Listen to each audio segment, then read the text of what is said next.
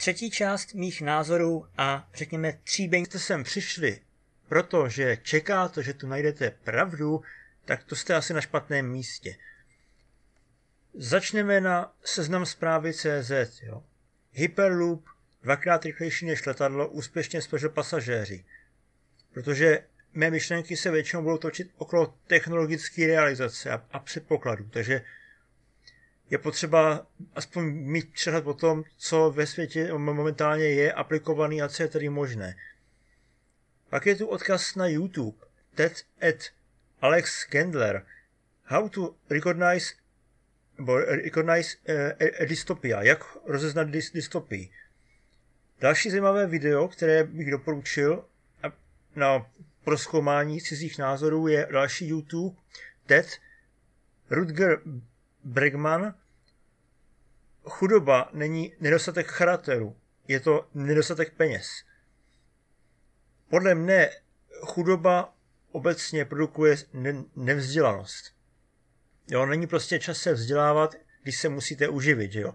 Tím nemyslím, jo, že, ne, že nemají vychozenou vysokou, ale že nemají informace a schopnost a čas je zpracovat, jo. Samozřejmě máte informace ze svého nej, nej, nejbližšího okolí, že jo, ale to měli i lidi před pěti lety, že jo, a o fyzice toho věděli pramálo, že jo. Nebo o ekologii, o udržitelnosti, o lidských právech, jo, co já vím.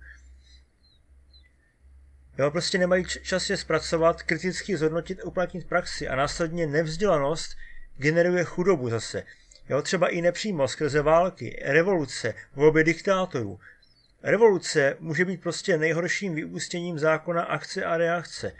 A vtipné je, jak se to někteří snaží obejít tím, že to prostě okecají, jo? Ve smyslu nemorální je to a nemorální je toto. Se totiž ukazuje, že i lidská společnost se často chová velmi vědecky, tedy podle fyzikálních zákonů. Když necháte plamen v posteli a začne vám hořet dům, asi taky nezačnete plamenu kázat o tom, že je nemorální vás zabít nebo spálit, brát vám vlastnictví a že by si mělo získat obživu poctivou prací, že jo? Chudoba je prý výchozí stav, jo, z, z pořádku světa nějak. OK, tak mi ale prosím definujte chudobu. Co to podle vás vlastně je? Já použiju wiki, jo? Cituji. Chudoba označuje sociální status člověka vyznačující se hmotným nedostatkem. Konec citace. Kapitalismus prý jako jediný systém přináší bohatství. OK, teď mi prosím definujte bohatství. Co to podle vás je? Já si půjčím kruce zase Wiki, jo? což je údajně dílo socialismu zřejmě, protože na ní nikdo nezbohatl. Nevím. Bohatství je stav, kdy jedinec má tolik hmotných či nehmotných statků, že zažívá pocit nadbytku a blahobytu. Toto vlastněné bohatství pak umožňuje volné užívání vlastněných věcí bez nutnosti další práce, anebo další používání ve snaze zvýšit hodnotu svého kapitálu. Konec citace. Jo, já teďka schválně pominu tu část, že bohatý je to, kdo si myslí, že je bohatý. Jo, že zažívá pocit nadbytku, že mu prostě nic nechybí. Protože podle této logiky vlastně i bezdomovec, který je úplně šťastný, je vlastně děsný boháč. Jo? A jako já to nerozporuju, jo? protože nemůžete být chudej, když vám nic nechybí. Jo? Protože podle této logiky vlastně i miliardář, který je v depresi, protože si nemůže koupit celou planetu, je vlastně chudej. Jo? Dobře, ale já nevím jak vám, ale mě to s tou chudobou moc neštimuje. Jo? Spousta přírodních národů nebo i zvířat sice nemusí splňovat definici bohatství, jo? tedy život bez práce, ale tím pádem vlastně ani 92% lidí na planetě, že jo? Ale zároveň nesplňuje ani definici chudoby. Spousta zvířat netrpí nedostatkem, spousta lidí také ne. Dokud se tam třeba nenaštve nějaký izmus, jo? ergo chudoba pro ně nebyla výchozí stav, ekosystém bez zásahu člověka nerovná se automaticky chudoba. Jo, který ekosystém máte na mysli? Ovocný les anebo poušť? Jo, tam bychom se o tom mohli bavit. Ano, jo, člověk dokáže bohatství namnožit řádově, ale také ho dokáže i zničit, že jo, i tam, kde už bylo. Například člověk, co žije v džungli, může mít hojnost hmotných statků. Pokud tvrdíte, že ne, že třeba nemá auto, tak v tom případě ale žádný izmus nevyvedl lidstvo z chudoby, protože nekonečné tužby člověka znamenají vlastně permanentní nedostatek, tedy vlastně chudobu, že jo. Je to začarovaný kruh, jo, když se zase vrátím k chudobě a, a nevzdělanosti, jo, ze kterého se sami dostanete jen velmi těžko a pomalu. Podívejte se na Evropu, že jo. Kolik staletí jí samo o sobě trvalo dostat se už od re- renesance, alespoň tam, kde jsme teď. A to nepočítám s tím, že většinu znalostí zachránili arabové, jo, přes naši, jako řekněme, dobu temna, jo. Ona totiž středověk, alespoň podle posledních poznatků, jo, nebyl tak primitivní, jak si myslíme, nebo hlavně spíš starověk, jo. Středověk stál v podstatě za prc, jo. To i starověk byl proti tomu úplně civilizace na výši, jo, ale budíš, jo. Problém totiž je, jo, že chyby, které udělá chudý, deprimovaný nebo nevzdělaný člověk, se pak netýkají často jen jeho, ale všech i všech okolo, že jo. A trestat až pak je bude zase jen boj s světelnými mlýny, že jo. Ostatně, kdo by se zabýval svou nebo cizí, že jo, budoucností, když musí aktuálně nutně řešit pouze svou přítomnost, že jo. Já nebudu řešit, že jo, to, nebo jaký vliv na ostatní lidi nebo na mě samotného bude mít moje aktuální činnost, když ji potřebuju dělat, abych se okamžitě uživil, že jo. Vy třeba pálení pralesů, protože lidi potřebovali políčka, aby, si, aby, že jo, aby měli úrodnou půdu a mohli tam něco vysadit, ale v, v celkovém důsledku, že jo, by se uh, po určitým čase vlastně v podstatě spáchali sebevraždu, že jo. Jaký je význam třeba trestu, jo? Myslíte si, že kdybychom lidi přestali trestat, že bychom se tady všichni pozabíjeli? A nebo je to stejný pasklní argument, jakože třeba bez státu bychom se všichni okradli a pozabíjeli? Pokud tomu tak není, funguje teda vůbec trest? Jo, navzdory tomu, že lidi popravujeme, zavíráme do, zavíráme do vězení, odsuzujeme k pokutám a náhradě škody a děláme to už tisíce let, stále lidé kradou, podvádí a zabíjí. Neexistuje tedy jiný způsob, jak vymítit ze světa násilí, než třeba strachem, tím myslím hrozbou trestu?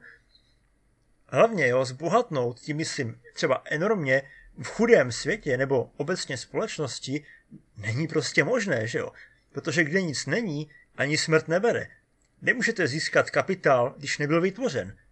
Jistě uznáte, že, jo, že ten týž nápad třeba na chytrý telefon se promění v peníze o absolutně jiné částce ve společnosti, která má dost peněz na, řekněme, blbosti, než ve společnosti, která si tak tak dokáže zaplatit kus jídla. Nebo dokonce ani peníze nezná, protože je nepotřebuje, protože od rána do večera se lopotí na svým políčku a, a tak tak se uživí.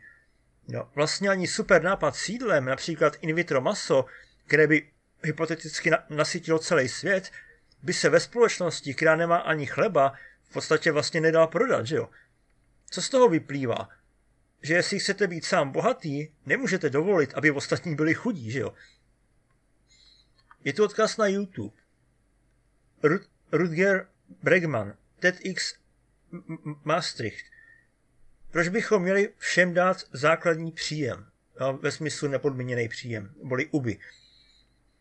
Ono ostatně, že jo, u spousty lidí platí, že si koupí nějaký výrobek jen proto, že na ně viděli reklamu, jo, respektive třeba doteď o něm nevěděli a tedy netušili, že by se jim mohl líbit.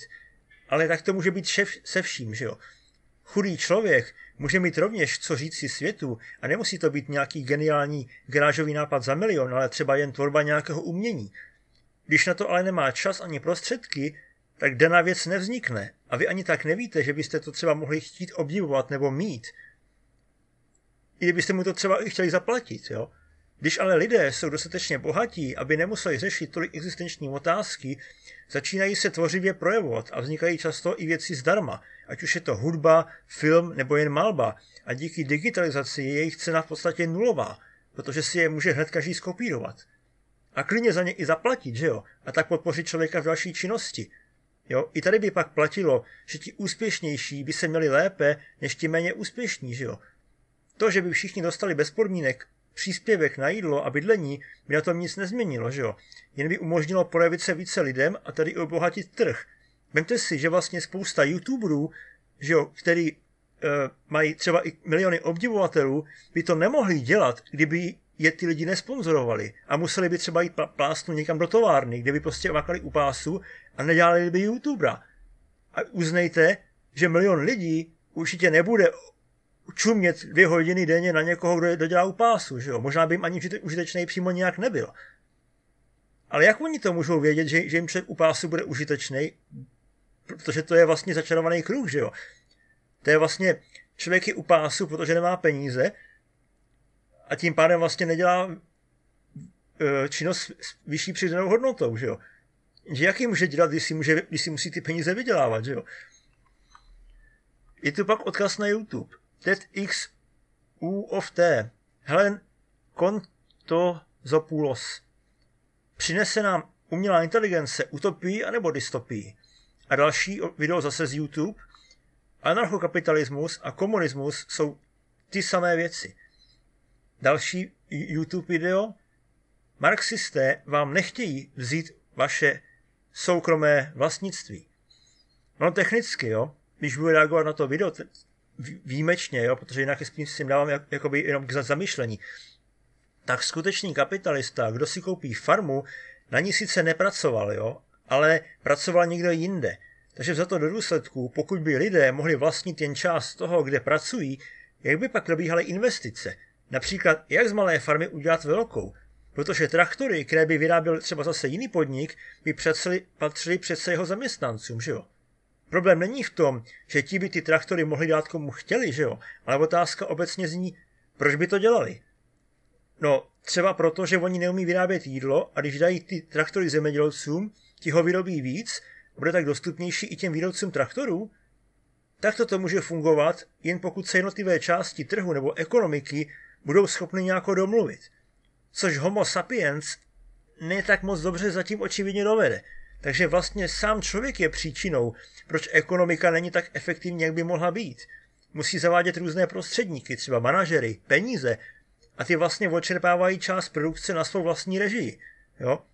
A, a když se vrátím k té farmě, ano jo, dnes už můžete i farmu se zvířaty mít i jako rodinný podnik, jo? čili vlastně jako UBT, jo? neboli nepodmíněná základní technologie, jo? v Austrálii nebo v České republice. Prostě nasadíte stroje a automatizaci, že jo? Je to dnešní realita, ne nějaké budoucí science fiction. Když už jsme u té technologie, odkaz na novinky CZ.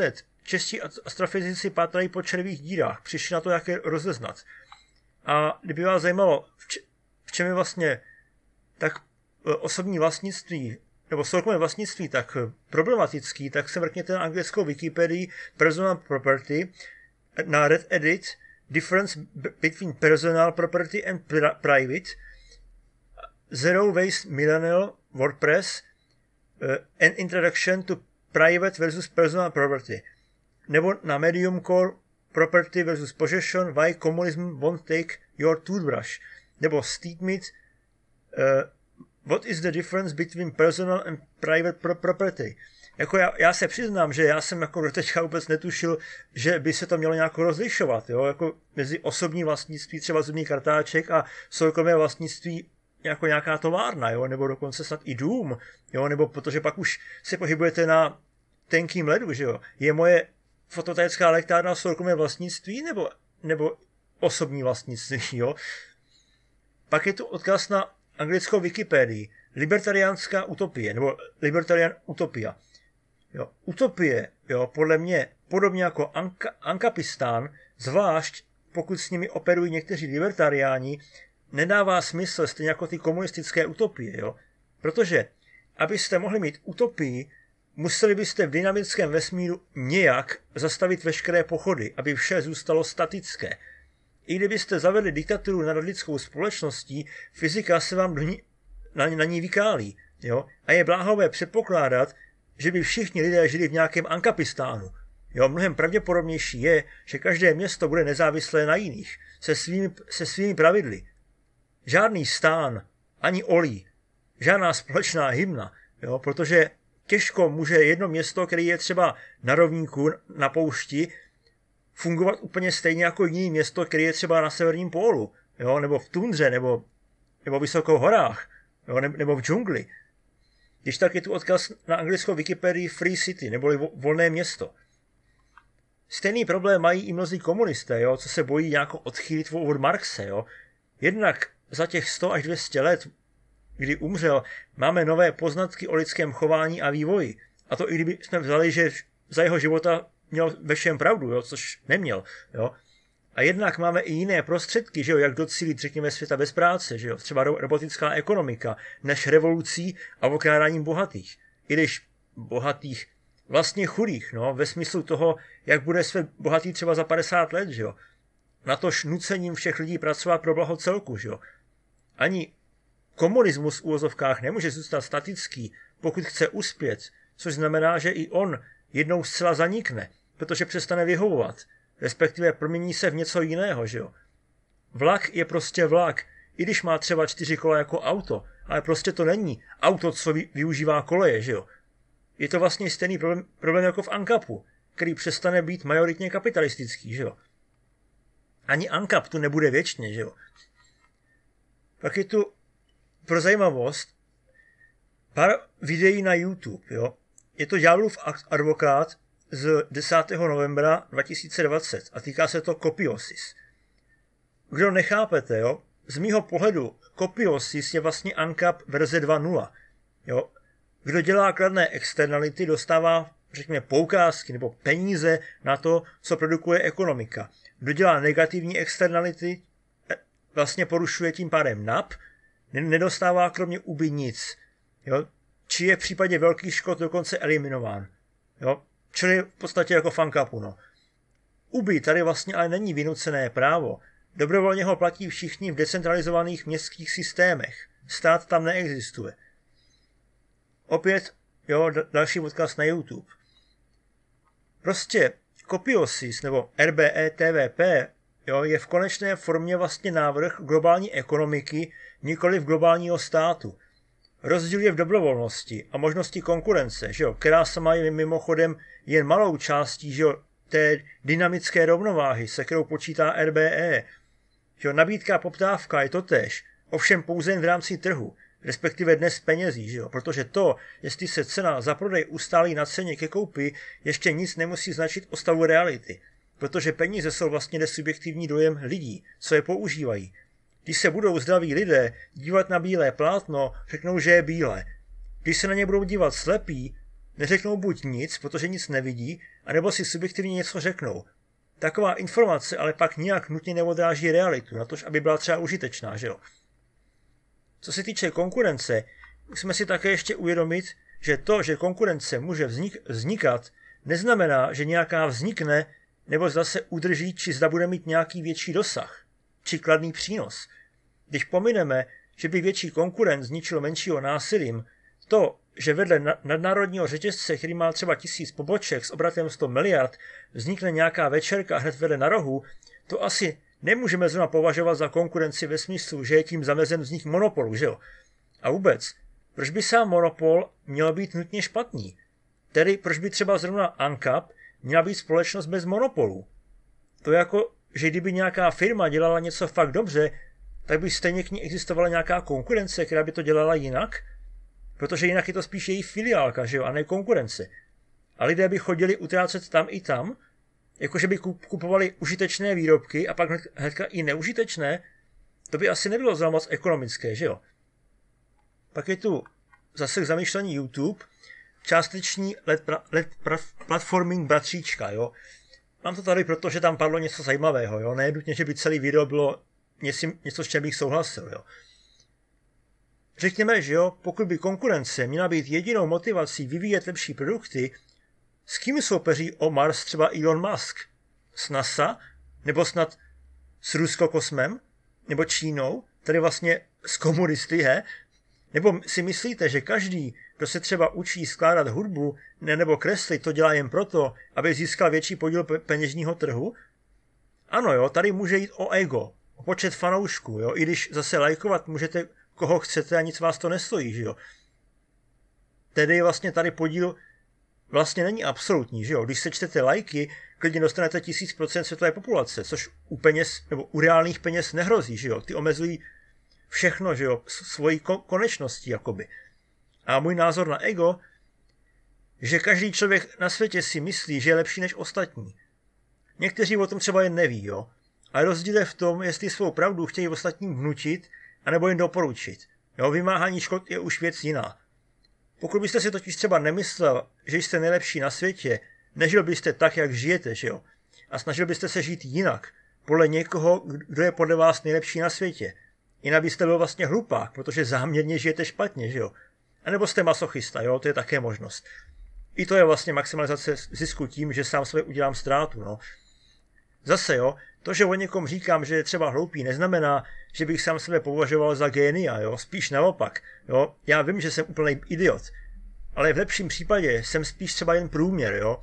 V mnoha oborech jsem zatím právě jen hloupý. Blbé je, že když pak někoho skutečně nazvu hlupákem, znamená to vlastně z mýho pohledu, že je vlastně ještě hloupější než já. Jo, pak nejde o to, jak moc jsem chytrý já sám, když mi ten dotyčný vlastně připadá už skoro jako idiot, že jo.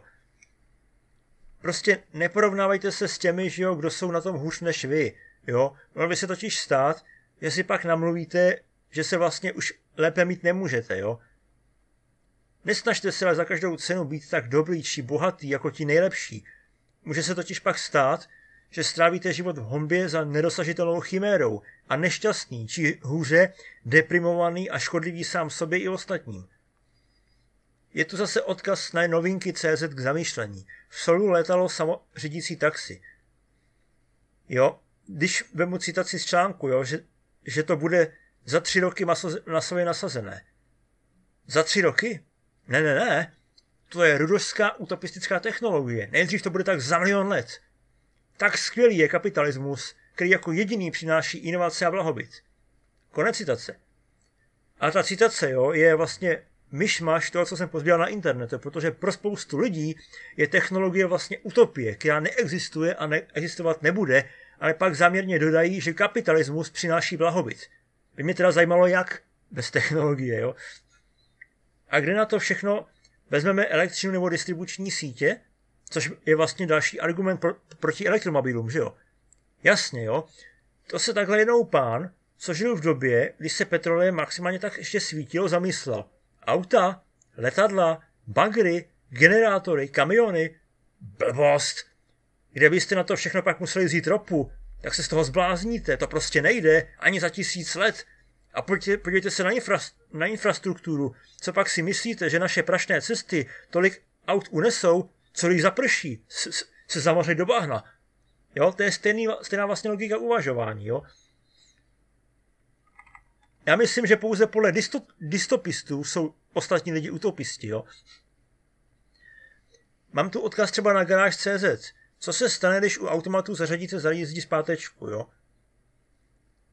Můžete si ptát, jak to souvisí s ekonomikou. Já vám to řeknu, jo, protože tam protože v tomto konkrétním případě je vlastně už počítač teď někdy chytřejší než člověk, jo. A co teprve za 10 či 20 let. A pozor, jo, je to zase podle některých diktatura stroje. Bere vám svobodu se zabít, jo. Je tu odkaz na YouTube, jo. Studio svobodného přístavu. Socialismus selhal a koronavirus nevyřeší. Tak jako samozřejmě, že ne, že jo. Žádný ismus nic nevyřeší. Řeší to firmy, vědci, odborníci. Jako vždy, že jo. Třeba v minulosti, jo, vy třeba divy starověku, díl 4 z 10, anebo to řeší přirozený výběr, že jo. Ten smus vlastně označuje celkový směr společnosti.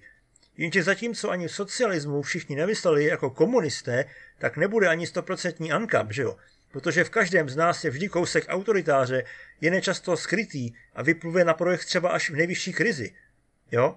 Pořád jsme jenom potomky primátů, jo? To ne, nevymažete e, jeden milion let krátkou evolucí. Jde jen o to, jak moc se naučíme tohoto ovládat a jak se nám bude dařit eliminovat prostředí, které tyto stavy krize spouští. Jo? A pak se teda ptám, jakou užitečnou roli hrají v tomto světě oni ukecaný pravičáci, případně levičáci, pokud své znalosti nedokáží aplikovat do praxe, že jo? Bez ohledu na to, že jsou ve světě levičáků, jsou vlastně užiteční možná jen o trochu víc než ti blbí levičáci. A propo, může vlastně vůbec pravičák kritizovat levičáky? Ti přeci jedou podle pravidel hry. Pokud systém nebo zde stát umožňuje vysávat daně, je snad vina lidí, že to dělají?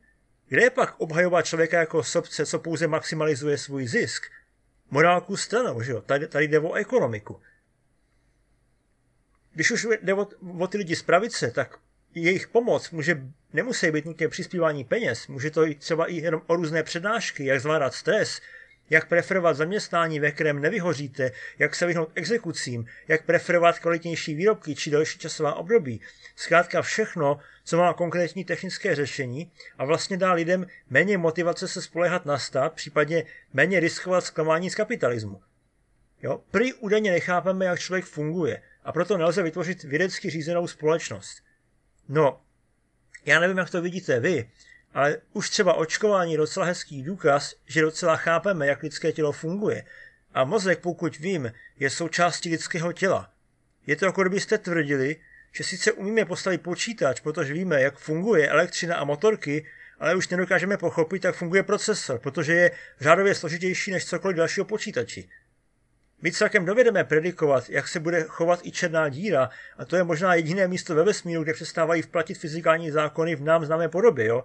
Myslím místě singularity. Tam ano, ne v lidském mozku. Když tak je tu odkaz na YouTube, vědecké kladivo, jak funguje mRNA COVID-19 vakcína. Já bych byl fakt opatrný tvrdit, že něco nikdy nepochopíme, nebo to nikdy nebude. Ano, jo, možná nikdy neuvidíme třeba zbytek vesmíru, pokud nedokážeme překročit bariéru rychlosti světla, ale to není problém lidského nebo obecně každého mozku, že jo?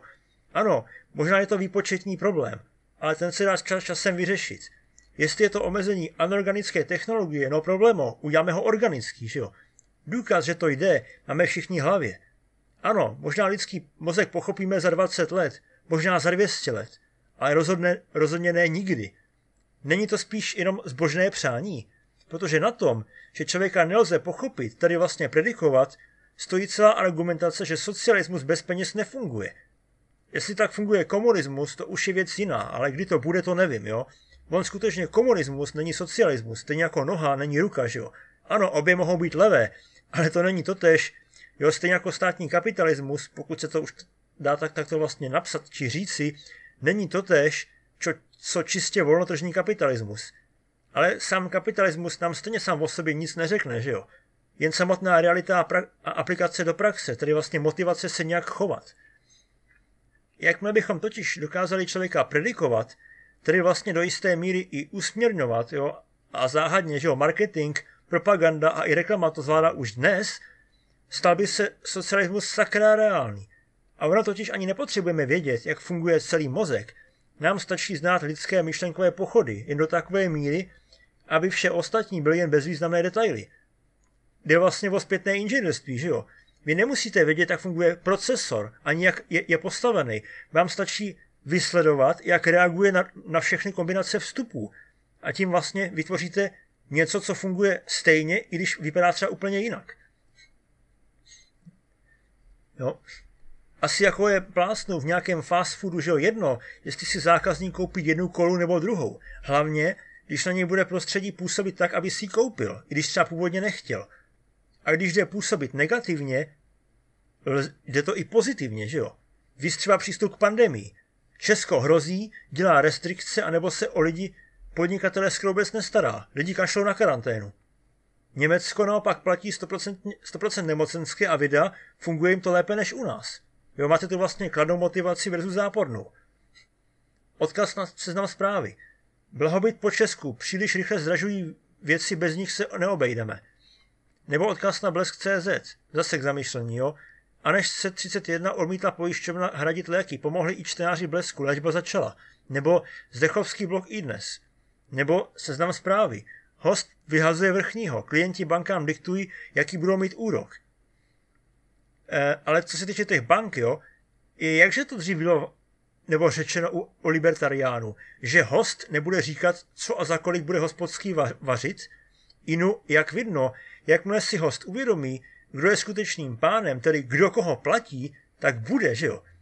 Pokud nebude ovšem úplně blbý, že jo, a nebude požadovat nereálné nesmysly, pak samozřejmě hospodský nemá povinnost prodělávat, že jo, ale také může zavřít, protože pokud takových hostů bude většina, tak zkrachuje, že jo, protože sice hosti jsou idioti, ale nikdo jiný mu ty peníze nedá, že jo. Když tak pro zajímavost, jo, ať ne, nedávám odkazy jenom na ANCAP, tu mám ještě odkaz na NLRBE, čili vlastně Eh, je to od Petr Taubing, Taubing, eh, omlouvám se mu, Petr Taubinger, tržní kapitalismus a ideologie volného trhu, systémová dynamika. Jo, je to vlastně cyklus videí na YouTube, jo, pr- první, druhý odkaz, jo, o ekonomice založené na zdrojích a přírodních zákonech. Pak je tu ještě třetí video, což, jo, což jsou tři otázky. Co navrhujete? Pak pro zajímavost je tu zase odkaz na CS History, jo, archiv, tajný život Josefa Stalina. Jo, je to film, kdyby vás to zajímalo, jo. Je, prostě zamyslete, se nad těma komplexníma vazbama, jo. Jo, třeba, jo. Levičák říká, mně přijde blbý, že navzdory všemu tomu bohatství umírá na světě miliarda lidí hladem a žízní. Pravičák odpovídá, mně je to fuk, ale nestarejte se o moje prachy, dejte mi svobodu. Levičák.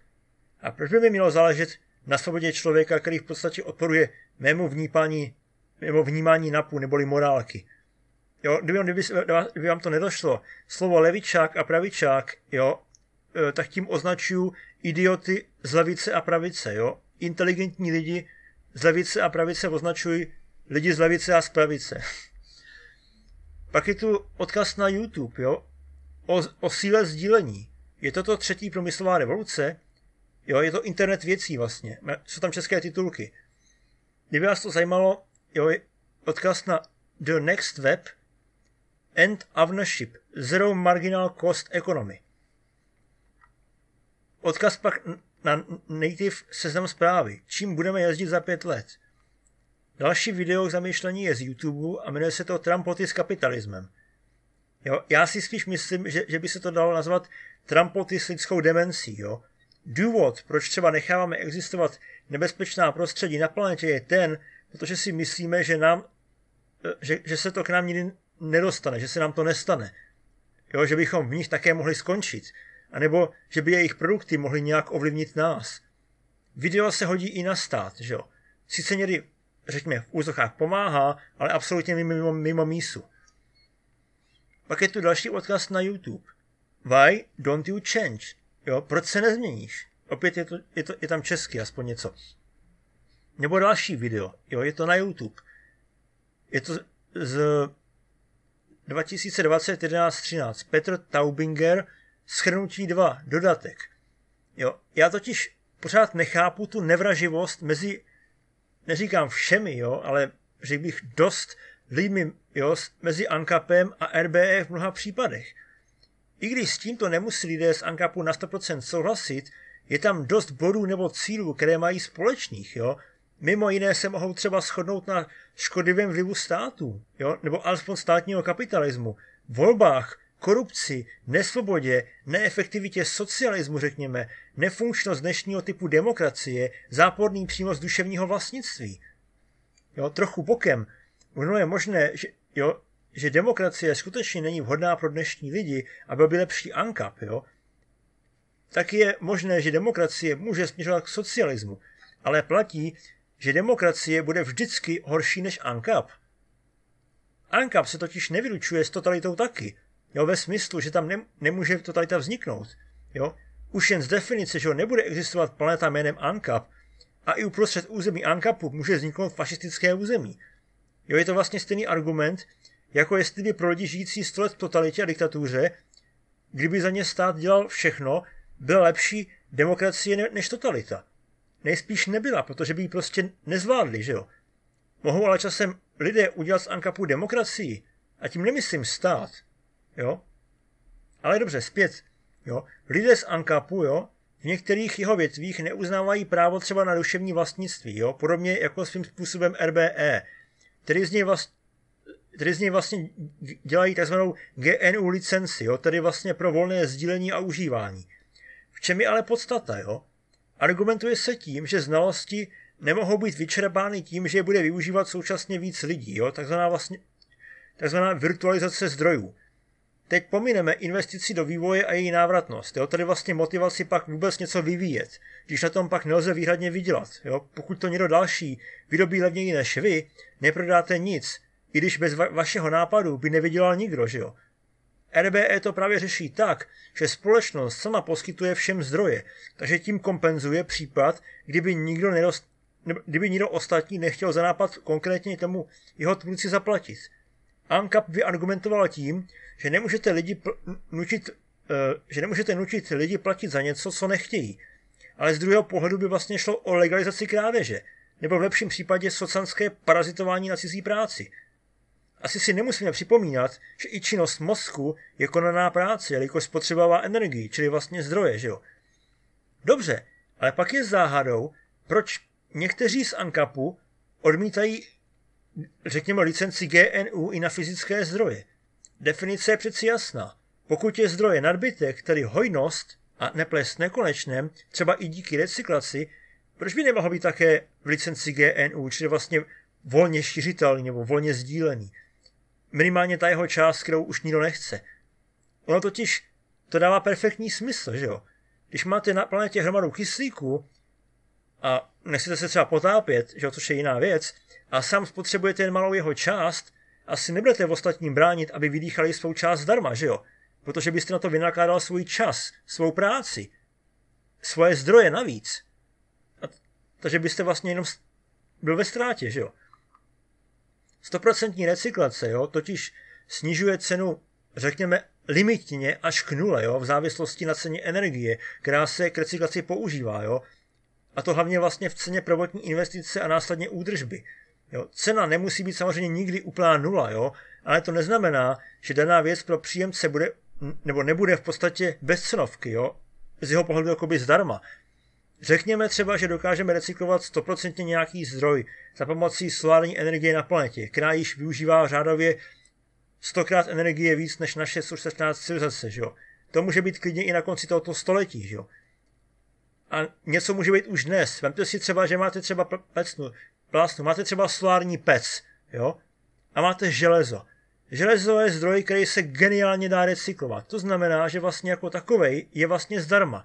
V momentě, kdy postavíte tu solární pec, do něj prostě dáte železný výrobek, on se rozstaví a dostanete zdarma ingot. Takže vlastně máte zdroj zpátky a v úvozovkách jakoby zdarma, protože solární energie sem dopadá furt. A buď to se přemění na, na teplo hned, bez užitku, případně ještě škodí jako globální, řekněme, oteplování, nebo předtím bude nějak využitá, že jo.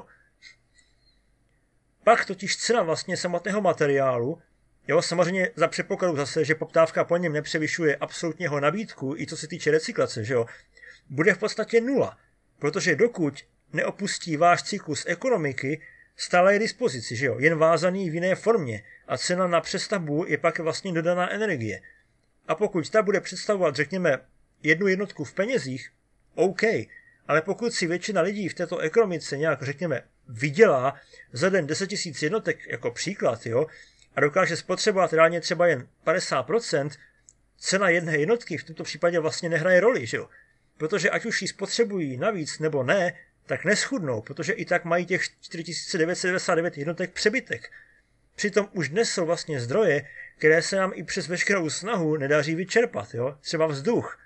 Ano jo, zasmínili jsme si ho ale ačkoliv jeho přímá cena je stále nula, nedošlo k jeho vyčerpání, že jo?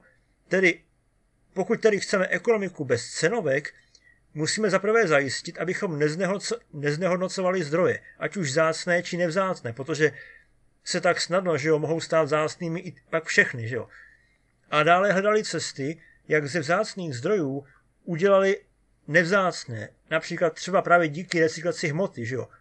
K tomu potřebujeme primárně dostatek energie a ideálně takové, která sama nebude tu hmotu spotřebovávat, třeba jako energie z ropy, že jo?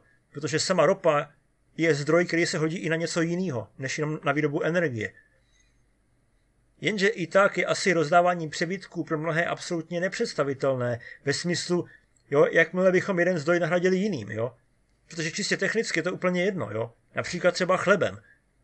Nejde teď o to, že by někdo někoho živil dobrovolně, ale mnozí si prostě nejsou ani vnitřně schopni připustit, že v momentě, kdyby někdo vyprodukoval třeba tisíc chlebů, nebo byl schopen to udělat a 500 jich prodal za cenu, která by pokryla výrobu těch, těch tisíc, že by těch 500 rozdal jiným lidem zdarma a oni mi tak dostali něco jen tak bez práce. No to je sakra nemožná utopie, že jo? Hrozná dystopie komunismu. A nebo jen omezenost myšlení některých, některých lidí. Protože co je vlastně charita? Charita je, kdy já si vydělám peníze, zaplatím si své základní potřeby a něco mi zbyde. buď si za to můžu koupit třeba Ferrari, nebo počítač, nebo se jít ožrat, nebo zaletět na Mars, nebo si koupit letenku na Havaj, a nebo ty peníze někomu dám. Ať už útolku, nebo na vzdělávání, na, nebo na léčení nemocí v Africe, nebo na produkování potravin v Africe. To je jedno, protože z, hlediska toho člověka on dostal peníze bez práce, zadarmo. Nutil mě k tomu někdo? No nenutil. Takže se ptám znova, proč je pro pravičáky tak děsný problém si představit svět, kde někdo dostane něco zadarmo? To by mě zajímalo. Otázka totiž je, proč to nedělat může znít ještě jednodušeji. Bylo by totiž příliš drahé bránit někomu spotřebovat něco, co pro mě nebo trh nemá žádnou cenu. Přeci, když něčeho máte přebytek a nemůžete to prodat, investovat ani nějak dál spotřebovat, investoval byste další finance či zdroje do opatření, aby to nemohlo odnést někdo další. Proč byste to dělal? Jako můžete to udělat, že jo, ale pak mi nemluvte o tom, že tu maximalizujete nějaký zisk, protože teď jste právě utrpěl ztrátu. Investoval jste zbytečně zdroje do něčeho, co nepotřebujete, ani, na vás, ani vlastně nechcete možná, jo.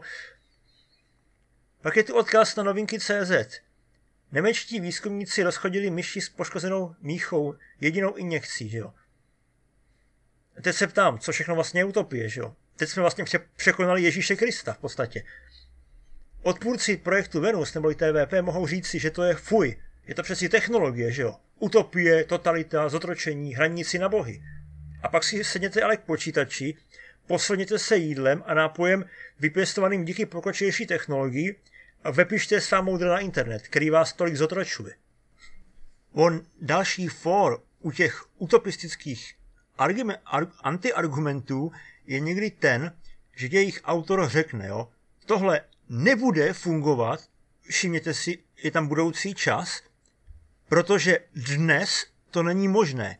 Všimněte si přítomný čas, jo. Někdy teda dodají během deseti let třeba, jo, asi aby se nechali zadní vrátka, nebo se někdy dokonce pokouší už rovnou věštit, když dodají ani za tisíc, ani za milion let, jo.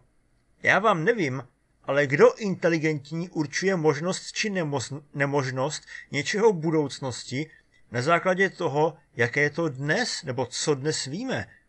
Podle této logiky vlastně tito lidé sami popřeli svůj vlastní ankap. Jako ano, že jo, dnešního člověka v globálu, kdybyste vzali všech, všech 8 miliard, nemůžete vzít a hodit do ankapu, jo? Respektive jeden by se asi přizpůsobil, chudí lidi by se asi přizpůsobili, protože pro ně by se v podstatě nic nezměnilo, že jo? Přírodní národy by si toho ani nevšimli, ale ne hnedka celá planeta. Jo, podívejte se třeba, jaké nepokoje vyvolá třeba už jen to, že chvíli nejsou v obchodech nějaké věci. Co teprve, kdyby odpovědností nenaučení lidé začali ztrácet v podstatě všechno, protože by se na ně třeba sesypaly hyeny a neměli by zatím vybudovanou ochranu. Protože by pochopitelně zatím ještě nikdo nevytvořil dost bytelnou soukromou infrastrukturu, že jo? Tam se, které soukromé agentury by, by chránili e, lidi? když dneska neexistují, že jo? Které soukromé školy by v podstatě učili děti, když dneska v podstatě neexistují, protože všechny jsou navázané na stát? Které firmy by pracovaly bez dotací, když dneska většina firm bere, do, nebo většina, spousta firm bere státní dotace, že jo? To je ten samý, to samé uvažování. OK, jo, ale když se vrátíme třeba eh, k té bezpeněžní ekonomice, ono totiž třeba i vytvářet, jo, a udržovat ceny, stojí nějaké zdroje. A je to podobné jako třeba s ražením desetníků. Jejich cena byla prostě vyšší než hodnota, kterou reprezentovali. Tak jsme je zrušili, že jo. Pak je volba buď cenou, no pak je volba buď věci s hodnotou pod 10 haléřů dávat zdarma, což pochopitelně nejde, pokud se dají vyčerpat, že jo, anebo ty věci dvakrát třeba zdražit, pokud by třeba, respektive na nejbližší možnou minci, že jo. I když hodnota těch věcí je, je nižší, že jo. Výjimka je třeba samozřejmě nákup jo, přes digitální měnu, kde se dá v podstatě měna dělit na tisíciny naprosto v pohodě, že jo? nebo prostě nákup víc věcí, když se zaokrouhlí až výsledná částka. Jo? A podobně, že jo, i výroba může svou efektivitou nebo prostě neníčením zdrojů dojít k tomu, že některé statky budou prostě tak levné, že snažit se je do určité míry blokovat vás bude stát víc, než kolik ty statky stojí. Že jo? Lépe řečeno, bude výhodnější je rozdat po zaplacení výroby, třeba právě pro své PR, než se je snažit prodat.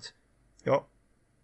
Co se týče těch nákladů, dobrý příklad je třeba takový Bitcoin. Jo? Vemte si, že Bitcoin autorizuje transakce skrze těžbu nových bitcoinů. Jenže to znamená, že vlastně, když byste chtěli platit třeba za věc, která by stála jeden nanobitcoin, tak za předpokladu, že by už se nevydělávalo na, na těžbě, ale pouze na těch transakcích, tak by se vám to nejplatilo, protože vlastně poplatek za ověření té transakce, kterou by muselo schroustat x počítačů a tím spotřebovat drahou elektřinu, by vás přišel víc než cena té věci. Takže by se vám vůbec nejplatilo používat bitcoin na tyhle ty platby.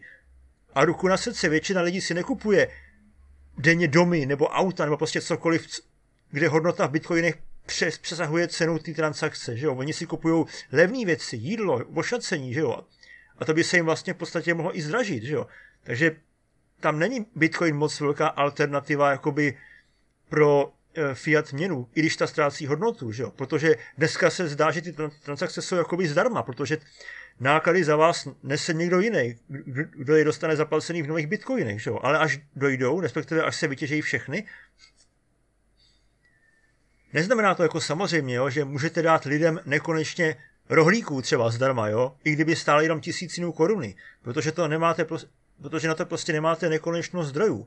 Ale znamená to, že do určitého objemu můžete rohlíky zdarma dávat. Jo? Třeba jako nějakou přifařenou službu, součást své image, charity, to je prostě fuk. Jo? Každopádně i spotřeba rohlíků že nebude nekonečná v daném okamžiku. Tedy pokud jde o zdroj recyklovatelný, jo, protože hypoteticky člověk sežere si sice rohlík, ale zase z něj něco vyleze, že jo, a z toho se dá další rohlík, řekněme, vyrobit, jo, třeba jako hnojivo na pěstování obilí, že jo. Tedy vlastně, i když třeba bude ekonomika schopná vyprodukovat jen miliardu rohlíků za měsíc zdarma, jako by jo, bez cenovky, neznamená to, že se nají jen jedna miliarda lidí. Jo, by se prostě museli střídat. A je to pochopitelně jako, jen, jako příklad, protože miliardu rohlíků si v podstatě už můžeme dovolit rozdat dneska, že jo. Kdyby byly jeho výrobní náklady dvě koruny po celém světě, že jo, protože vyrábět je tady a pak je vozit v kontejnerech by moc efektivní nebylo, že jo. Tak na dvě miliardy rohlíků by stačilo, aby půlka planety dala, e, dejme tomu, 4 miliardy korun, jo. On možná by výrobní náklady byly jedna koruna, takže by, by stačilo dát 2 miliardy korun, jo, jdeme tomu. Jo, protože ta druhá půlka planety by nejspíš byla zase příjemcem těch rohlíků, že jo. Tady vlastně dnes asi 50 haléřů na každého z nás, jo. A mnozí by nejspíš dali i víc než takto malou směšnou částku měsíčně, že jo. Opět, než se zase někdo zvedne, mluvíme tu o dobrovolnosti, takže si vaše případné vykřiky o státu a násilí zase můžete hezky spolknout. Je tu odkaz k zamýšlení na vědecké kladivo, YouTube – proč vakcína na COVID vznikla tak rychle. Jak vidno, jo, tam ne konkurence, ale i spolupráce tentokrát prospěla. Ono je totiž soupeření a soutěžení. Můžete spolu závodit a přitom zveřejňovat své know-how. Pokud jste chytřejší, měl byste i tak přijít na řešení dřív než soused, že jo? I když budete mít oba vždy aktuální data.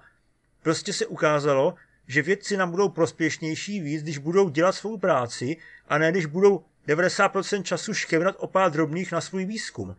Je spíš smutné, že jsme na to opět nedokázali včas přijít sami jako čistý trh.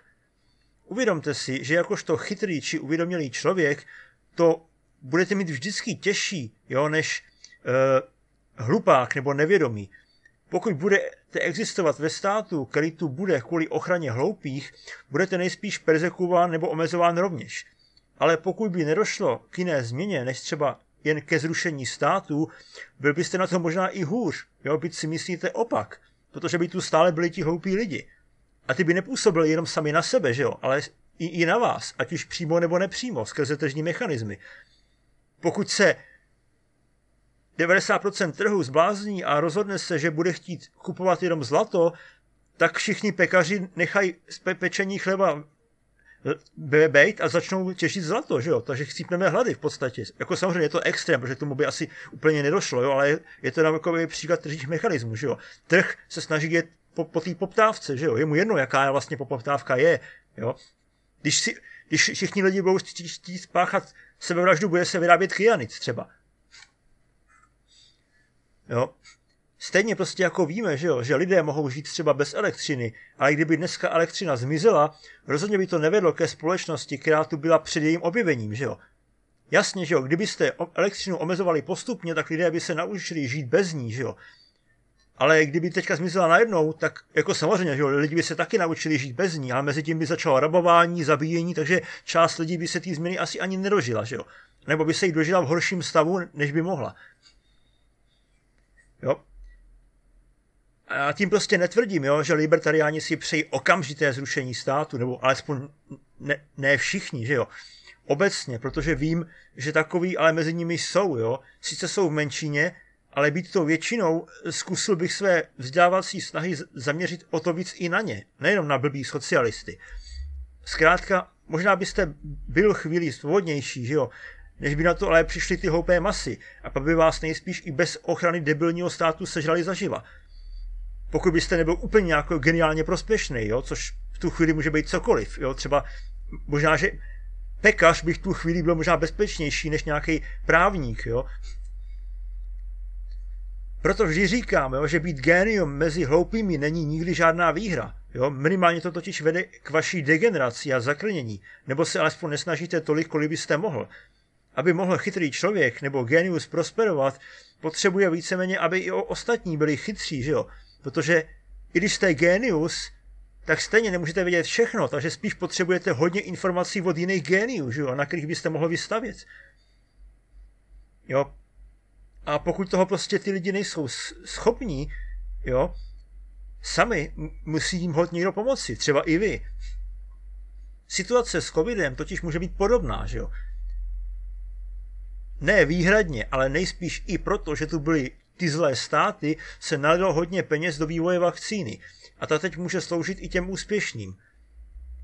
Pokud by tu ale nebyly žádné státy, ale obyvatelstvo by mohlo být stejně debilní, což je situace dneška, jo, neříkám, že to platí pro svět za 50 nebo 100 let, jo, třeba by se 90 prostředků raději nasměrovalo na prdící apky nebo vyzvánění mobilů. Vy byste pak mohl být libertarián, genius nebo sebeúspěšnější třeba skrz na skrz, ale pokud by se k vám vakcína nedostala včas nebo lék, protože by se buď nevyvíjela vůbec, anebo byste ji nebyl schopný ufinancovat, tak byste na to doplatil, že jo? Neříkám tím, že potřebujete stát, jen říkám, že potřebujete ostatní. A nemůžete se vždy spolehat jen na to, že se do stavu, v jakém je vy potřebujete mít, dostanou sami. To, jestli by pak vymřela 90% planety přežila tak 10% těch úspěšnějších, je, celkem fuk, protože byste v první řadě možná umřel vy sám. Dokažte mi, že jste sobecký kapitalista, tedy ekonomicky gramotný, tím, že vám bude záležet na vás, a ne, že řeknete, když to trh bude chtít, tak to tak bude. Kašlete na trh. Jestli se chce trh zabít, OK, ale vy přeci umřít třeba nechcete, ne? A pokud to bez trhu nezvládnete, tak to nemůžete nechat nevědomky spáchat sebevraždu, že jo? Nepotřebujete k tomu stát, ale něco vás to možná i tak stát bude. Jo? Minimálně vás čas a zájem na správném místě. Když tak zase k zamyšlení, jo? Je to hezký animovák, z Československé filmové, daty, Československé filmové databáze, odkaz. Je ty jedové království, jo, nebo v angličtině se to že jmenuje Littlefoot. Ale asi je prostě pro mnohé z členů z obou stran ANCAP plus RBE důležitější nenávidět každého, kdo není můj klon, než aby byli ochotní spolupracovat na díl, dílčích cílech společně, že jo? Nebo snad nikomu z ANCAPu nezáleží, jestli ekonomika bude udržitelná z hlediska ekologie nebo nebude, nebo si snad myslí, že jejich 1 až 5 světové populace něco drasticky změní? Asi jako vegané, hm? Ano, pomalu, ale jistě, že jo. Ale to neznamená, že se se stejným tempem dostanou až do cílové rovinky, co, čo, což je čistý ankap. Možná ani k tomu minarchismu. A pokud ano, dožijí se toho voní vůbec? Protože pokud někdo tvrdí, že chce budovat ankap pro ostatní lidi, tak to sakra ale není sobecký člověk, to je komunistický altruista jak, jako hovado v tom případě. A na altruisty já teda moc nevěřím. Jak bych citoval jeden film. Tohle dělají jenom hlupáci. Ale ty mi nepřipadáš jako hlupák Harry Potter. Další film k zamyšlení, snad teda kromě jeho konce, je, je Interstellar, Interstellar. Já nevím, jestli teďka přesně čte, jo, zase odkaz na Československou filmovou databázi, ČSFR, nebo další film zamýšlení, Sedm životů, zase Československá filmová databáze, jo, ale spíš totiž než co s tím, mě totiž zajímá většinou, jak k tomu došlo, jo, jaká byla příčina toho problému, proč a jak jsme se chovali tak, že jsme se dostali až sem, protože pak už jenom vlastně řešíme symptomy většinou, že jo, a ne příčiny. Navíc to, že vyřešíte symptom, neznamená, že, že, se, že se to nebude opakovat. A vy pak zase, zase musíte nalít znova zdroje na, na řešení toho samého. Místo toho byste vyřešili jednou pro ten problém. No totiž výhradně ANCAP nerovná se automaticky ze 100% libertariánství. To není to samé. ANCAP je pouze podmnožinou, stejně jako další anarchistické směry, například třeba RBE nebo ANCOM, Jo, liší se vlastně převážně ve svém zaměření a dá se vlastně říci, že ANCAP je z nich nejméně specifický a tedy vlastně nejméně reálný, protože se dá očekávat, že až decentralizovaně spousta území či agentur bude mít své specifické zákony nebo nařízení, kterými se budou řídit. Jo, ne, ne, nezůstanou pouze u toho NAPu. Jo. A já bych navíc preferoval spíš takovou, která, které budou platit ne za vymáhání práva, ale za udržování pořádku. Jo? V tom je totiž nepatrný rozdíl. V tom prvním totiž bude agentuře stačit, když najde mého vraha a co s ním podnikne. Jo, když ho třeba nenajde, tak dostanu asi slevu, jo, z pojištění, nevím. Ale v tom druhém bude zodpovědná za všechno, co se mi stane cizím zaviněním, protože tomu nedokázala zabránit. A jsem si jistý, že byť to bude dražší, taková agentura by měla minimálně dvakrát větší motivaci skutečně řešit zločin, tedy zkoumat příčiny a předcházet problémům, než jiná, co by měla jen motivaci hledat zloděje a doufat, že jich bude co nejvíc, aby měla co nejvíc peněz. Ta druhá by naopak měla co nejvíc peněz, když by žádní nebyli, že? Co vám přijde lepší? Protože když vás okrade zloděj a agentura ho nenajde, OK, dává, dávám pojištění zpátky, že jo? Třeba. A když vás u toho ten zloděj i zabije, tak už vám to bude k prdu, že jo? Takže je lepší, když žádný zloděj nebude, protože se vás tím pádem ani nebude pokoušet to, tolik někdo zabíjet, i když vás to přijde možná dráž penězích, že jo? Nebo jestli si ceníte peněz víc než života, tak jako OK, že jo, proti tomu nic nenamítám, že jo, ale pak se nedívte, když vás zase nazvu hlupákem, protože i váš život je vlastně ochrana vlastnictví, že jo. Takže vlastně, jak po mně chcete, abych preferoval ochranu vlastnictví, když vy sami na něj kašlete, protože nechráníte ani sami sebe, že jo. Jo, vycházím totiž čistě z toho, jo, že skutečně řešit důsledky zločinu, tedy eliminovat vyníky, nahrazovat škodu, je někdy sakra drahé. A tak se nabízí otázka, zda prostě neexistuje levnější způsob než trest, jo, či na, následné řešení problému. Jestli třeba nebude levnější prevence, že jo. Mohli bychom prostě říci, jo, že anarchie je záruka svobody a kapitalismus jakási záruka ochrany vlastnických práv. Logicky ale, že jo, v komunitě, kde vlastnická práva jaksi nebudou dávat smysl, nedává smysl ani hovořit moc o, o tom kapitalismu, že jo, byť může jít stále o anarchii, jo. Nikdo nikoho nenutí se vzdát vlastnictví, ale nikdo v něm také nevidí vlastně pak smysl. Jo, v extrému dokonce třeba ani u toho vlastního těla. Pak zde vlastně může mít spíš smysl hovořit o ochraně sdíleného vlastnictví, tedy o ochraně přístupu. Kapitalismus je totiž podle mě kapitalismem, když chrání soukromý kapitál. OK, ale když nemá co chránit, dá se ještě mluvit třeba o ANKAPu? Co přírodní národy? Jsou to anarchistické společnosti? Dejme tomu, že ano, protože sice mohou mít šamana, ale toho si většinou volí dobrovolně a určitě nemají nad na, na sebou stát. Takže to jsou spíš anarchistické demokracie, svobodné společnosti, dejme tomu, libertariáni třeba. Mají soukromé vlastnictví, ale často dost těžko, že jo? I pokud je vůbec co vlastnit, často to mají sdílené, takže jde spíš o komunistickou společnost, anebo jde o individuální vlastnictví, jo? třeba oblečení, možná kopí, jo? možná vlastní, třeba dejme tomu i svou chatku, pokud ji mají, ale otázka je, jestli si ji postavil sám, anebo všichni, a tedy sice vlastně využívá, ale nevlastní, že jo. Jde pak vlastně o formu přístupu, ne o vlastnictví.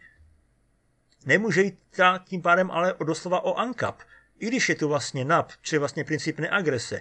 Jo, jen pojem vlastnictví tu vlastně moc nezahrnuje hmotné statky, že jo. Pomineme také chudší lidi, jo, kteří třeba žijí ve společné chatrči. To je rovněž spíš sdílená ekonomika. Všimněte si, jo, že tady nikdo nikomu nezakazuje nic vlastnit, ale lidé prostě nemají zájem, nebo dokonce ani možnost, protože prostě fyzicky není co vlastnit, že jo. Pokud tedy zase nejde o sek- sek- sektářskou společnost, ale ta často funguje spíš na debilitě, že jo. Debilitě. 50 lidí se bojí, že se nechají ovládat dvěma kněžími. Ti nemají jak. Jo, tady je vlastně ovládání jen psychologické, že jo? takže ve skutečnosti to nejsou ti dva kněží, co zotročují těch 50, ale těch 50 zotročuje samo sebe ve své hlavě. Že jo? OK, přesuneme se do moderní doby. Jo? Schválně si zadefinujeme soukromé vlastnictví výrobních prostředků jako investovaný kapitál, tedy vlastně jde o různé továrny, firmy, výrobní stroje, prostě něco, co vám samo generuje nějaký další kapitál. Jo, dělám to proto, protože jinak bych totiž já sám do výrobních prostředků normálně zahrnul třeba i zahrádku, co máte u domku, moji malou fotovoltaiku, domácí pekárnu chleba nebo i jen pec na, na chleba, že jo, pro vlastní potřebu. A vše ostatní budeme prostě brát jako individuální vlastnictví, což je prostě dům nebo auto, že jo. Prostě je to spotřební materiál, dejme tomu, že jo. Kolik procent planety by skutečně pak vlastnilo nějaký takový kapitál? Možná 20 procent? Jo, nákup akcí firm bych do toho nutně zase nepočítal, protože tady se spíš zase jedná o sdílené vlastnictví, nebo o sdílený kapitál, jo. Tady o sdílenou ekonomiku, jo, něco na způsob spíš komunismu, jo, nebo prostě forma úbru, jo, to je jedno, jo. Když, když půjdeme ale dál, co třeba lidé, co bydlí ve větších městech, jo, jsou v pronátém bytě a auto nevlastní, protože je prostě jednodušší sednout si na MHD, než trčet v zácpě tito lidé mají spíš individuální vlastnictví, tím myslím třeba zubní kartáček, než soukromý kapitál. Takže nám vlastně vychází, že v extrému je kapitalismus potřebný tak možná jen pro 10% dnešní populace. U ostatních jim vlastně nemá moc co nabídnout, že jo? A zcela postačí anarchismus sám o sobě, tím myslím bezstátní společnost, postavený na NAPu, jo, kde vlastnictví rovná se přístup, takže je chráněn váš přístup k hodnotě statku, ať už doživotní nebo jen dočasný. Jo? Například třeba nějaké půjčovny aut, pronájem bytu, jo? kde vám to zaručuje, že když si něco půjčíte, že vám to nikdo jiný nesebere, jen protože to, že to sám potřebuje. Ale nevlastníte to vlastně. Jo? Forma odměny jo, je pak zase věc druhá. Jo? Ta půjčovna to může dávat za peníze, čili vlastně musíte pracovat, nebo to může dávat zdarma své komunitě, protože ta komunita udělala nějakou investici, aby to vytvořila a pak vlastně čerta, čerpá z toho rentu, že jo. To, to se nevylučuje, že jo. Nemusíte mít soukromé vlastnictví a zároveň peníze, že jedno bez druhého přestane existovat. A hlavně, jo, to, že pak existuje nějaké pravidlo nebo princip delší dobu třeba neznamená, že musí nutně platit do, do nekonečna, že jo. Například, že jo, kapitalismus tu byl, tak tu bude i, i budoucnu, až, až jen co zmizejí státy, že jo. Například známe všichni ono známé, že jo, co jde nahoru, musí dolů, že? Odkazuje to na gravitaci. Platí to ale vždy? No v dobách před horkozdušnými balóny asi jistě, že jo. Dnes jen stačí vlastně dodávat dost energie a můžete létat nahoře prakticky, dokud vás nesestřelí nějaké selhání. A nebo udělíte tělesu unikovou rychlost a už nespadne. Pokud teda pomineme ty, co jsou na nízkém orbitu. Ergo, ani rakouská škola nemusí platit vždy a všude, a pokud už snad, nemusí se jednat o tu nejvýhodnější cestu. Podobně asi jako žádná firma nevymyslíte nejlepší způsob nebo zákon, co by platil vždy a všude pro všechny. Ono totiž, i kdyby se třeba všichni lidé shodli na světě na jednom způsobu, asi se shodneme zase, že jeho provedení bude jiné na Sahaře a jiné na Sibiři, a jiné na Mount Kilimanjáru a jiné 10 metrů pod hladinou oceánu, a jiné za milion let, až se posunou kontinenty a změní klima – a jiné třeba na Marsu. V případě agentur nebo firm půjde třeba o interní směrnice, že jo, kterými nebudou obtěžováni běžní lidé. Že jo.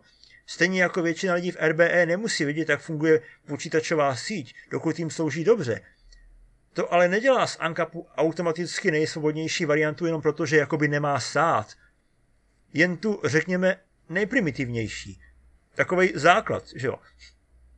Možná jedině čistý anarchismus je ještě o něco volnější, tím spíš, rea- tím spíš nereálnější, že jo? protože pravděpodobně nikdy nebude dlouhodobě existovat lidská společnost celkově na nějakém celků zcela bez, er, bez autory, že jo, na to to bez pravidel.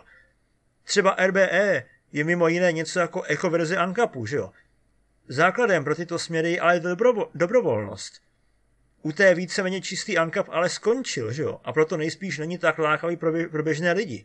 Ostatně i většina lidí z ANCAPu má tendence si vytvářet své vlastní varianty, že jo, bez duševního vlastnictví nebo s duševním vlastnictvím a jiné, že jo. Všem se vlastně pak liší duševní vlastnictví třeba od fotek na, nahého, nahého těla člověka. Proč jedno je OK používat bez svolení a druhé někdy ne? Protože tím zřejmě porušujeme vlastnictví. Zase jo, jak v kterém směru, že jo? Ale jak? Pověstí přeci o to tělo nepřišel, že jo? Stejně jako o software nebo o film. Fotky těla pouze zachytili fotony odražené od toho těla. Jestli si nepřál být vidět nahý, neměl se přeci nikdy v životě sléknout. Stejně tak duševní vlastnictví pochází z jeho těla, že jo, mozkové vlny, práce rukama, počítač, že jo, což je vlastně také jeho vlastnictví, že jo. Tady se vlastně argumentuje, jo, že když nechcete přijít o své soukromé, tak se nemáte vystavovat nahej třeba na zahradě, že jo. Pokud by vás už někdo fotil zamčeného v kuchyni, tak už by se musel dostat do vašeho vlastnictví a tím ho vlastně narušil, že jo. Jenže problém je, jak chcete chránit duševní vlastnictví, na kterém chcete vydělávat. To by totiž znamenalo, že by žádný programátor, který si nepřeje, aby jeho programátor používal, řekněme, nelegálně někdo jiný, by ho nesměl dávat na internet. Tím vlastně by ho nedával i nikomu jinému. A jenom by si ho používal sám pro sebe, což by ale znamenalo, že by vlastně z něj nikdo jiný další neměl užitek. Takže tady vlastně systém, který vlastně porušuje duševní vlastnictví, by mohl vést k tomu, že by vlastně snižoval lidem blahobyt a užitek z věci, které by mohli mít, kdyby uznal, že, ten, že, že autor toho programu na něj má jistý nárok na, na nějaký příjem. Třeba i nepodmíněný, že jo? aby se nemusel řešit, jak moc velký přínos ten program měl. Jo? Protože stejně tak totiž duševní vlastnictví, že pochází z jeho vlna, že mozkové vlny, práce rukama počítač, což je vlastně také jeho vlastnictví, což už jsem asi čet. Jo? U obojího se dá argumentovat, že když to není vzácné, nemůže to nikomu patřit. Jo? A hele, vylihli si nám tu komunisti. V obou pří, případech přitom vlastně děláme to, co si dotyčný ale nepřeje, že jo? A co od poslechy? Mohu zachytit zvukové vlny nebo rádiovou komunikaci, případně dešifrovat a pak použít? Opět, jo, dotyčný tím přeci neschudne, že jo? Mluvit, mluvit může dál a o ty vlny už stejně přišel, když je vypustil do étoru. A spadá to tak trochu i do, duševního vlastnictví, že jo? firmní tajemství nebo soukromé vlastnictví, že v tom nevidím rozdíl, jakmile to opustí hranice vašeho pozemku nebo vašeho vlastnictví. Důvod, proč si myslím, že ANCAP není jediné možné vyústění společnosti, je druhá část jeho názvu. Kapitalismus je totiž, jak už jsem tu párkrát nahlodal, je mimo jiné definován jako společnost, která vyznává nebo preferuje soukromé vlastnictví, minimálně teda těch výrobních prostředků. Jo? A aby bylo zase jasno, ne každý anarchokapitalista tvrdí, že když je něco soukromé, je to automaticky nejlepší, jo? ale úplná menšina jich zase není. To je pravda, jo? Zřejmě je na to Ankap ještě stále mladý a přitahuje spíš fanoušky než reálné uživatele. Jo? Říkám to proto, že často, když řeknu, někteří říkají to a tohle, tak někdo dotyčný řekne, já to neříkám, takže to neříkají libertariáni. A to přece není implikace, že jo, žádná. Jenže pokud se společnost dobrovolně rozhodne to soukromé vlastnictví nepreferovat, například jen tím, že zachová individuální vlastnictví, jako jsou věci denní potřeby, mezi které patří třeba i dům, stejně jako ten kartáček na zuby, případně je může řešit formou pronájmu, jo, v případě domu třeba na dobu neurčitou, než se dotyčný vystěhuje, s tím, že může mít ošetřenou odpovědnost. Například vy nesmíte dům ničit, ale náklady na provoz a běžnou údržbu platí třeba společnost. A nebo do akciových společností. Nejedná se v tomto případě nutně o kapitalistickou společnost dle své definice. Pokud zároveň uznává NAP, jde třeba o ANKOM, nikoli o ANKAP. Maximálně můžeme ještě hovořit o komunismu z prvky kapitalismu, protože pokud nějaký individualista zjistí, že je pro něj výhodnější něco vlastnit, anarchistická společnost mu v tom bránit nebude, že jo? Ale bude to nejspíš potom jenom minorita. Protože zase, pokud by nebyla, šlo by zase už spíš o ANCAP a nebo ANCOM, že jo. Takže ono tvrdit, že napovská společnost je jen taková, která primárně chrání soukromé vlastnictví, je a priori blbost. Vezměte si, jo, že byste třeba měli super firmu, která by produkovala jen to nejkvalitnější maso za nejlepší ceny. Dohlížela by na zdravotní nezávadnost a ještě pečovala o všechny své dodavatele a tak dále. No a pak byste měli veganskou společnost, jo? myslím tím jako skupinu lidí na určitém území. Myslíte, že by jí vůbec zajímalo, co ta firma dělá? Protože její užitek leží naprosto mimo rámec jejich životního stylu. Takže pro ně ta firma není to nejlepší, co by mohlo existovat, i když sama o sobě může být nejlepší ve společnosti masožravců. Takže byste podle stejné logiky, že se vegané nezajímají o firmy, co skutečně dělají kvalitní maso, řekli, že jim vlastně nejde o kvalitu, ale jim jde o kvalitu, že jo? Oni mají kvalitní zeleninu, mají třeba kvalitní dokonce in vitro maso, jo? ale ne ze zvířat, jo?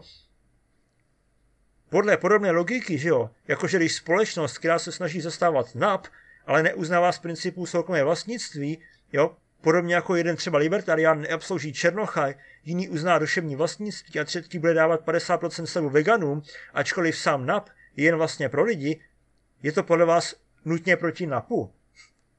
Jo, je pravda, že i kapitalismus může preferovat víc sdílenou ekonomiku nad vlastnictvím, ale pak se zase nabízí otázka, že jo, nakolik už přestává být kapitalismem. Nemůžete totiž definovat jablko jako něco, co roste na jabloni, a pak zároveň tvrdit, že když to vyroste na hrušní, je to pořád ještě jablko. Jo, jelikož obojí je ovoce, že jo. To je pak už ta definice v podstatě k ničemu, že jo. Protože ekonomika, která je postavená na sdílení, asi nebude to samé jako ekonomika postavená na, vlastní, na soukromém vlastnictví, že jo? Kdy co nejvíc lidí vlastní co nejvíc všeho. Jo? Nebo argument, jo, že i pálenka je vlastně ovoce, protože obojí vyrostlo na stejném stromě, nebo stromě obecně, že jo? Protože pak podle této logiky je vlastně OK dát kojenci pálenku, protože to je vlastně ovoce, že jo? A to ještě ani nevíme, jak kvalitní či bezbe- bezpečná ta pálenka je protože z definice to ne, nevyplývá, že jo. Ta je vlastně jinak jako slova matematika či technologie předpokládá, že prostě fungovat bude ideálně a optimálně, protože prostě musí, protože jinak už ta definice nedává smysl a není to ta daná věc, že jo. Matematika, kde nefunguje sčítání, není matematika, že jo. Ale to neznamená, že když řeknete, že, že máte matematiku, že podle ní všichni všechno spočítají správně, že jo. Protože tu jde zase o aplikaci do praxe. Myslím si totiž, že sám pojem anarchismus jakožto bezvládí rovněž pokrývá částečně, řekněme, i vlastnická práva. Jo? Jelikož když vám nikdo, nikdo nevládne, že jo, rozhodujete si o, o svých věcech sami. Kapitalismus tomu pak vlastně spíš přidává jejich ochranu, jo, řekněme. Takže vlastně, způsobu, takže vlastně určuje jen způsob provedení té anarchie. Jo? Jako elektrické auto a vodíkové auto. Ale pořád obojí funguje skvěle, že jo? Neplatí, že jen elektrické auto bude vždy nejlepší, nebo klidně i jen lepší vždycky než vodíkové, že jo? Jestli máte třeba problém s tím, jak někdo využívá své bohatství nebo svůj, svůj soukromý kapitál, nemusíte se zase nutně uchylovat k autoritářství, že jo?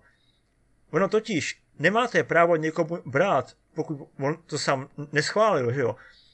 Pokud je to jeho, nebo to využívá, ale zároveň nemáte povinnost mu jakoliv pomáhat. Jo?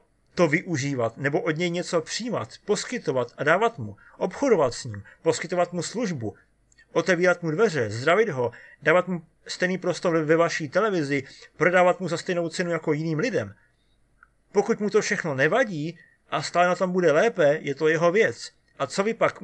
A vy pak musíte že ho přijít na jiný způsob, kromě teda násilí, jak změnit jeho názor. Pokud však trvá na svém víceméně jen z ideologie, tedy vlastně z přesvědčení o své pravdě, dojede na to a schudne, ať už časově, materiálně, zdrojově nebo peněžmi. Ono totiž ani třeba 100 miliard korun, dolarů nebo bitcoinů nemá vlastně žádnou hodnotu, pokud je od vás nikdo nepřijme jako platidlo, že jo? Přitom od jiných dál klidně může. Ano jo, toto vytváří prostor pro ovládání, protože pokud nemáte zajištěný své základní potřeby, kdokoliv vás může ovládat skrze ně. Uděláte prostě, co chce a, a, a ona vám je dá. Ale to je pak se spíš zájmu ostatních, aby taková situace neexistovala.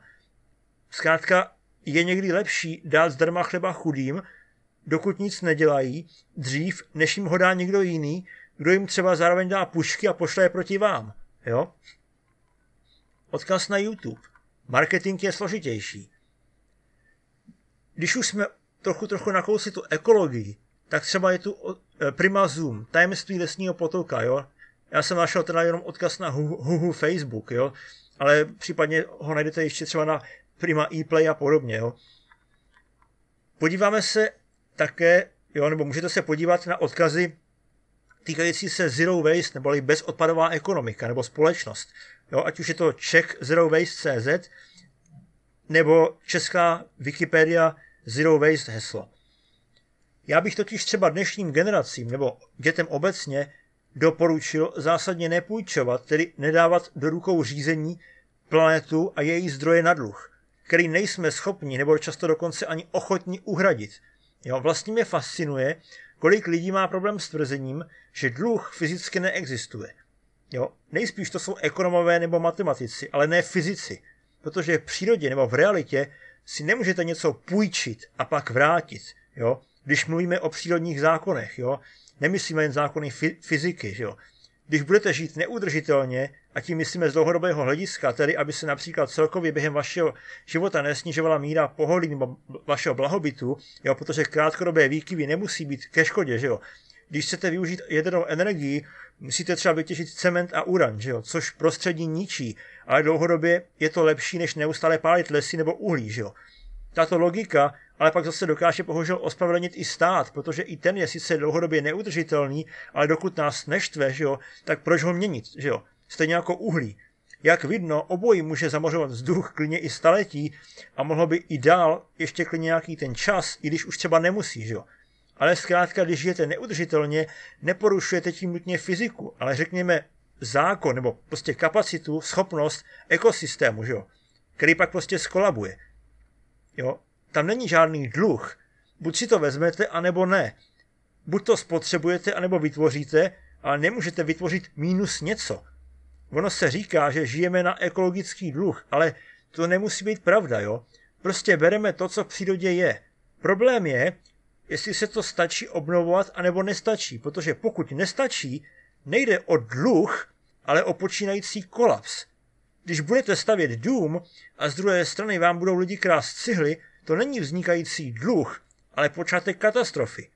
V momentě, kdy nebudete stíhat doplňovat cihly, anebo vás dokonce někdo zabije, protože co je mu do vás, že jeho zajímají cihly z toho domu, ten dům prostě časem spadne, až bude narušena jeho statika. Pak bude jedno, jestli tam ty cihly, pokud je ještě budete mít, nanosíte zase zpátky, že jo. Sám se už znovu nepostaví.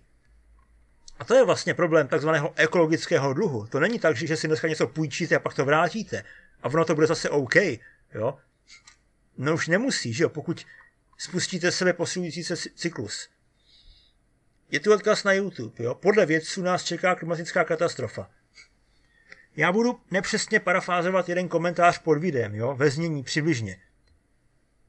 Nebo já neznám nikoho z Holandska, jo.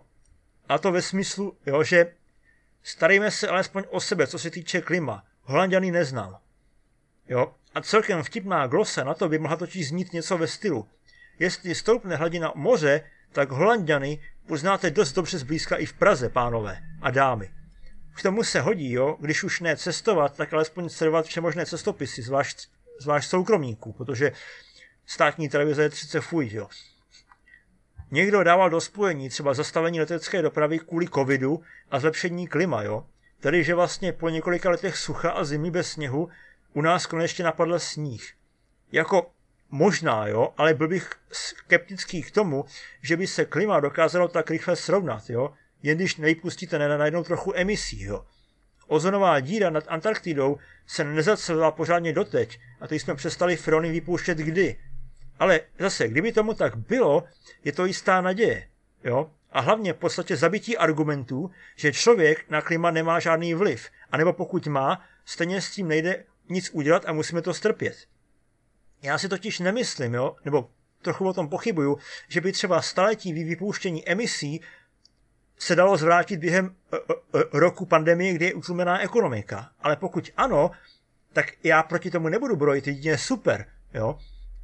Protože třeba, jo, jestli znáte takový science fiction dokument, jo, planeta po lidech nebo svět bez lidí, jo, to prostě takový, co, co, jak by to vypadalo, kdyby jsme najednou všichni zmizeli, tak tam vlastně ukazovali, že vlastně by se vzduch a ekosystém v podstatě aspoň z větší části dokázal sám pročistit během 25 let. Jo? Od okamžiku, kdyby jsme úplně zmizeli. Jo? A to, i, to tam bylo i započítané to, že by vlastně nejdřív vybouchly všechny jaderné elektrárny, které by byly bez dozoru, všechny chemičky, jo? zamořili by půdu s, e, a vodu s plaškama, protože by nefungovaly čističky a tak dále. Jo? Takže asi jo, třeba. Jo? Ale tím pádem vlastně to vlastně popírá existenci všech lidí jo? No a jejich argumentů, kteří tvrdí, že člověk na planetu nemá stejně žádný vliv. Jo? Takže vlastně pro, proč utlumovat naši ekonomiku? Že jo? Proč se připravovat o peníze hlavně? Že jo? To je spíš ten argument. Jo? Protože ekologicky můžete vyrábět taky. Že jo? I, na, I peníze se na tom vydají vydělávat, takže ten argument nechápu. Je tu pak odkaz třeba na česká televize, jo? Kamera, zase, kamera na cestách, což jsou zase ty cestopisy, jo, který já preferuju, když se snažím trošičku vzdělávat o našem světě, protože nemůžu být všude, že jo. A ještě jeden komentář mě tam pobavil, jo. My tu třídíme odpad všetko a Afrike to hádzu, kde chci, jo. Nebo prostě my, my, my, my tu třídíme vše, všechny odpad a v Africe si to házejí, kde chtějí. Jako jasně, že jo. Ta hromada počítačů a televizí na afrických skládkách, to je určitě dílo jen Afričanů. Já jsem nevěděl, že to jsou takový boháči. Jo, spíš právě v Africe vidět snaha dávat našim odpadkům, třeba pneumatikám, i jiné využití, třeba z nich dělat boty, protože tam si prostě nemohou dovolit nechat ležem tak, ležet takové zdoje ladem. A u nás se ty počítače asi vypařují, či co? Protože my totiž víme, že efektivita recykla- recyklace našich počítačů je pod 50% a přitom po většině skládek v Evropě ani vidu, ani slechu. Tak kam se všechna ta elektronika ztrácí, která se každý rok obměňuje? Hm? Když tak odkaz na novinky. Šokující snímky NASA ukazují, jak klimatické události proměňují naší planetu. Jo. Zase, jo, to je globální oteplování versus globální zvýšení klimatické dynamiky. Jo. To totiž neznamená, že bude v zimě léto, ale že taky může být mráz i pozdě na jaře. Jo? A co to udělá s úrodou, si asi jistě domyslí, umíte domyslet. Ostatně, když už jsme u té přirozenosti, že jo? Klima se mění přirozeně, že jo? To je častá mantra pravičáků. Nebo mnoha pravičáků, ať zase ne- neodsuzuju všechny. OK, tak si ale prosím načtěte něco o malé době ledové a její hladomor. A jestli by se vám taková přírodní přirozenost vůbec líbila. Jestli na to má člověk malý vliv, no, můžete zkusit být takovým člověkem, jo, ale jen abyste potom nedopadli jako Simpsonovi, poté, co Homer vypustil do jezera naprosto již zanedbatelný příspěvek, že jo. Je to vlastně argument ve stylu můj segment vypouští 20% emisí, tam ten má 30%, tak mě neomezujte a zrušte ten druhý. Prostě, že jo. Když se tam vykáleli jiní, tak proč bych se nevykálel já, že jo. OK, ale jestli vám jde o omezování těch nejhorších, tak v momentě, kdy se ten 30%, 30% segment vyřeší a klesne třeba na 15%, budete stejně zase už na řadě vy, i podle vaší logiky, že jo? Dále je tu odkaz na seznam zprávy. Velký vědecký průlom. Už ví přesně, jak se země oteplovala.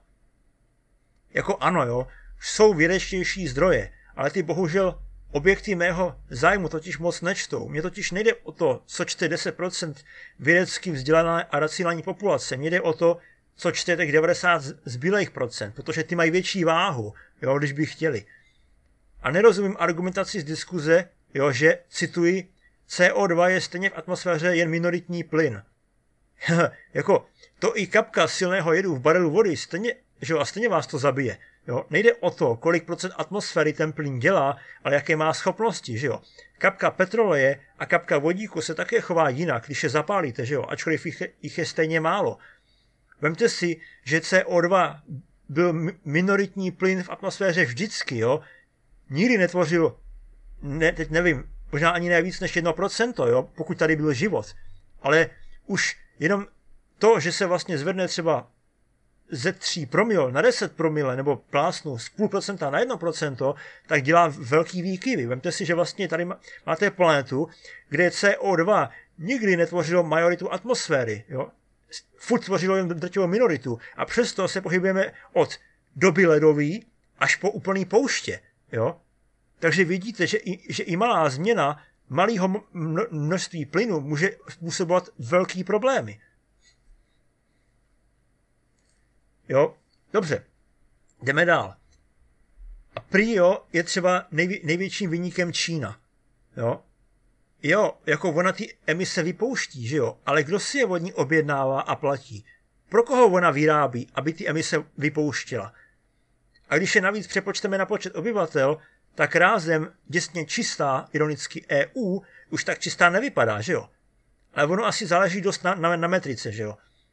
Když se vám nakazí 50% obyvatel virem, ale nikdo neumře, můžete být nejhorší na světě, když vám jde o to, kolik máte nových případů nákazy, že jo?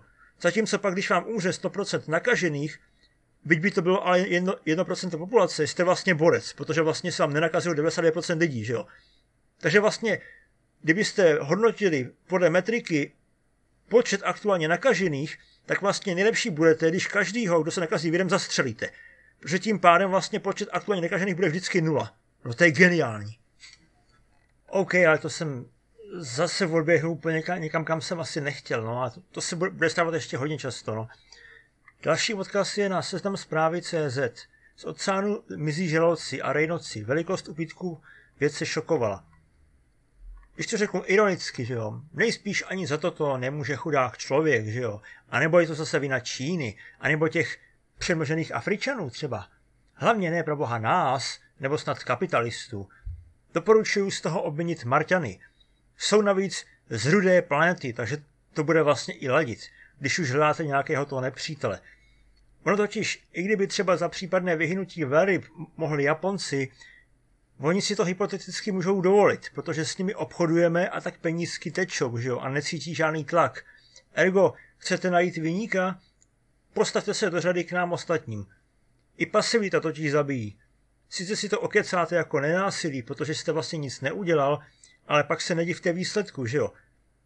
A nesnažte se ze sebe schodit všechno vinu. No totiž, to, že nic neuděláte, neznamená, že je to správně. Když se na vás bude řítit nákladák, jo, a nic neuděláte, tak taky, taky utrpíte ztrátu, že jo? A ten nákladák si můžete představit jako cokoliv jiného. Skupinu lidí, socioekonomický tlaky, nebo prostě strukturální násilí, to je fuk prostě, jo. Ne, nelze nic nedělat a doufat, že, že se mi nic nestane, že jo. A nezapomeňte k tomu ještě třeba dodat, jak je žralok jasně pro člověka nebezpečný, že jo, a kolik lidí kvůli ním umře. Pak je tu odkaz na českou Wikipédii. Malá doba ledová, to je tak pro zajímavost, jo. Hlavně by mě totiž zajímalo vaše řešení problému, jo, aby moc nestálo teda. Protože jen levičáci samozřejmě požadují, že jo, aby něco hodně stálo. A vyhněte se teda hlavně in vitro, masu a vertikálním farmám, protože to navrhují rovněž jen zlí levičáci progresivisté, co berou lidem svobodu zabíjet zvířata. A neříkejte, že vy to nechcete nikomu vnutit. To nechce ani výrobce žvíkaček, že jo? Ono totiž to, že něco nechcete nutit, neznamená, že jste vymyslel lepší řešení než levičák, co to navrhoval třeba už před léty, že jo? Pak je to zajímavý odkaz na rozhovor YouTube Studio Svobodného přístavu o, o uchvácení státu a ekologii s Michailou Pixovou. Když budu trošku reagovat teďka na to, co v tom videu zaznělo, tak víte třeba, jaké je mé měřítko lidské důstojnosti? Je samozřejmě subjektivní, jo? ale zastávám názor, že cokoliv, pod co bych sám nešel, bych neměl vnucovat ani tvrdit, že to je důstojné pro ostatní. Stejně jako bych neměl ostatním doporučovat, na to šnutit, jo, e, přispívat na charitu víc, než přispívám sám. Jinými slovy, důstojný život pro mne je můj život. Tím neříkám, že by všichni měli žít tak jako já, ale jen, že mi přijde prostě blbý, že někdo žije hůř. Jo, ne lépe, prostě hůř, než já. Bez ohledu na ekonomické poučky nebo co si o tom myslí ti dotyční, jo.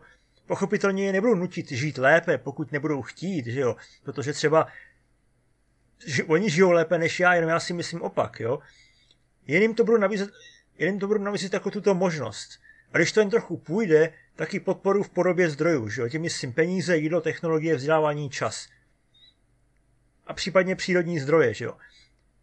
Ale nebudu se snažit okecávat, když někdo si žije hůř než já, že by, že by to snad bylo přirozený, správný, nebo že bych já si myslel, že oni jsou vlastně boháči, takže vlastně všichni ostatní vůči ním nemají žádný dluhy a tak dále. Jo. Pokud jde o vzdělávání, Měli bychom rozlišit samozřejmě povinnou školní docházku pro všechny, anebo tu možnost, aby všichni měli volný přístup a čas k informacím, třeba skrze internet, to je jedno.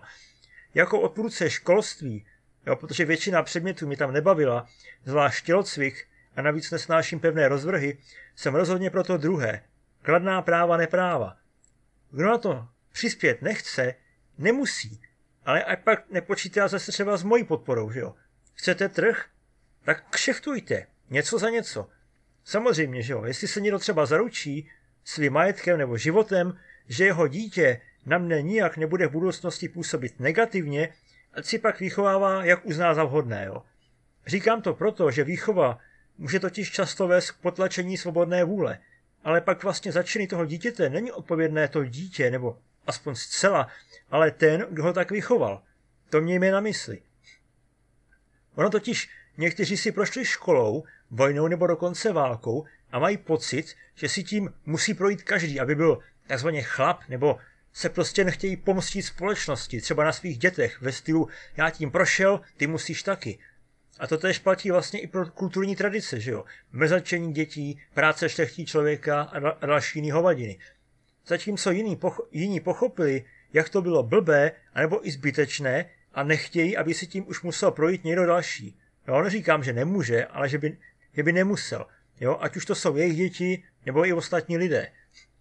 Nejspíš by se nám také třeba nelíbilo, kdyby Číňané začali skupovat okolní pozemky, že jo, a tím nám zvyšovali ceny třeba i nad, uh, me, nad úroveň mezek, kde jsme ochotní to ukočírovat, že jo. A tak vlastně by mnoho z nás relativně skutečně schudlo. Jde, o, jde tu o lokálnost, že jo. A nejspíš bychom začali pozemky skupovat sami. Jenže my máme tu možnost, že jo. Chudší lidi třeba ne. Tak se nabízí otázka, zda ignorovat to, že my nepřímo, protože od těch korporací třeba kupujeme, děláme někde to tež, co by se nám samotným nelíbilo. A samozřejmě, že jo, tržně je to OK. Já se snažím vydělat, jestli někdo prodělá, pak už není můj problém, že jo. Pokud jde o uchvácení centrální moci, tak tam souhlasím, jo, ale co se týká všeho, jo, nejen státu, jo, firem, náboženských komunit, často i rodin, či půdní fond, byť soukromý, že jo. Koupíte prostě kus papíru a v tu ránu ovládáte kilometry čtverečních najednou, aniž byste tam vůbec musel vkročit, že jo. A vlastně se o změně vlastníka místní ani nemusí dozvědět, kdyby s tím třeba chtěli něco dělat. Jo, vlastník není povinen jim cokoliv hlásit, že jo. Rovněž bych rozlišoval taky mezi tím dát lidem stát, co bude za ně rozhodovat, anebo dát lidem prostředek, kde se budou moci účastnit a rozhodovat o své budoucnosti i jinak než jen silou svého kapitálu. Protože pak často takový člověk vidí, že jeho, že, jeho, že jeho rozhodnutí o něm moc vlastně nerozhoduje, že jo. Koupí si kozu a farmu. A za, zatopí mu ji řeka kvůli změně klimatu, ke které nějakým dílem, jo, nenulovým, přispěl zbytek planety. Nebo mu ji vybombarduje omylem konflikt nějakých dvou jemu cizích stran. Jo. To může vést k deprivaci, chuti, pomstít se a škodit všem okolo.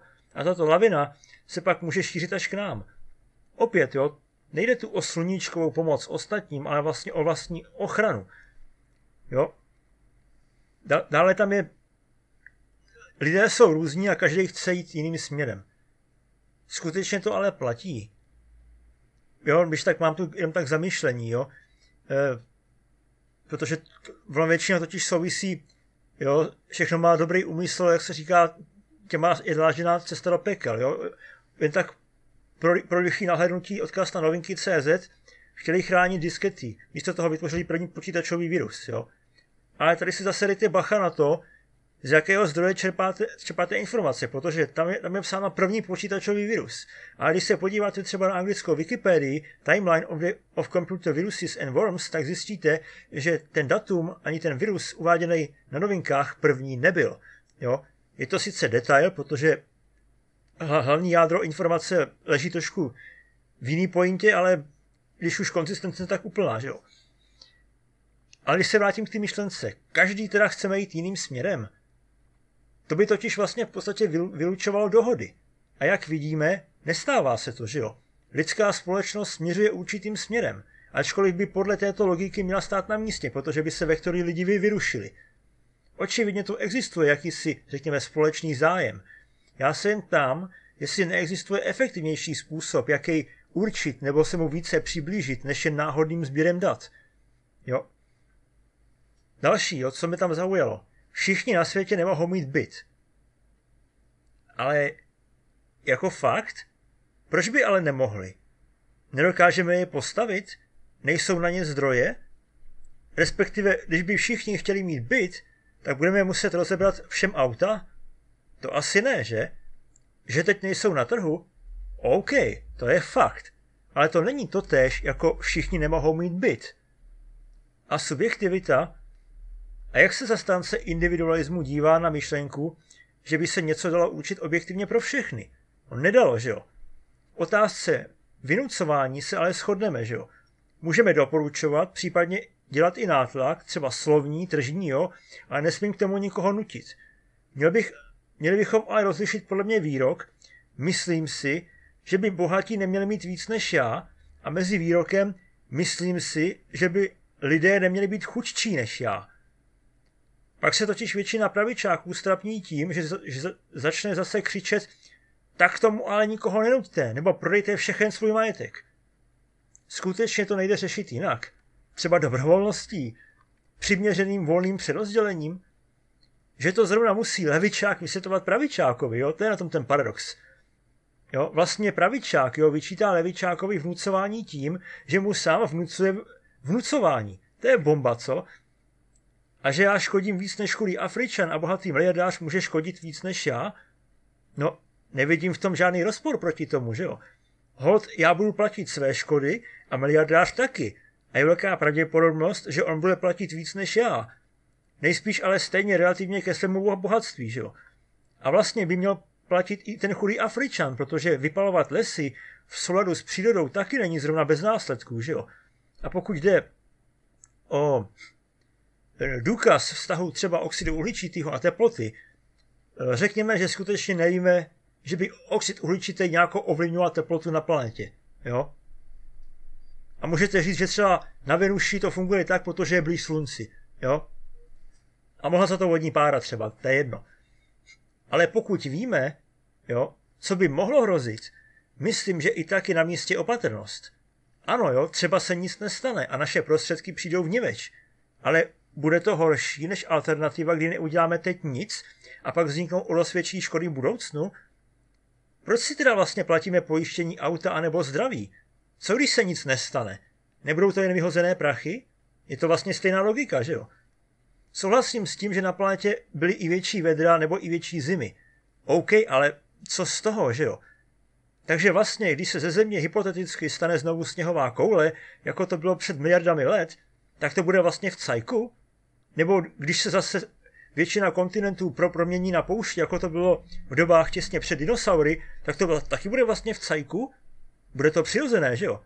Nebo o čem se to vlastně bavíme, jo? Ta argumentace přirozeností, jo?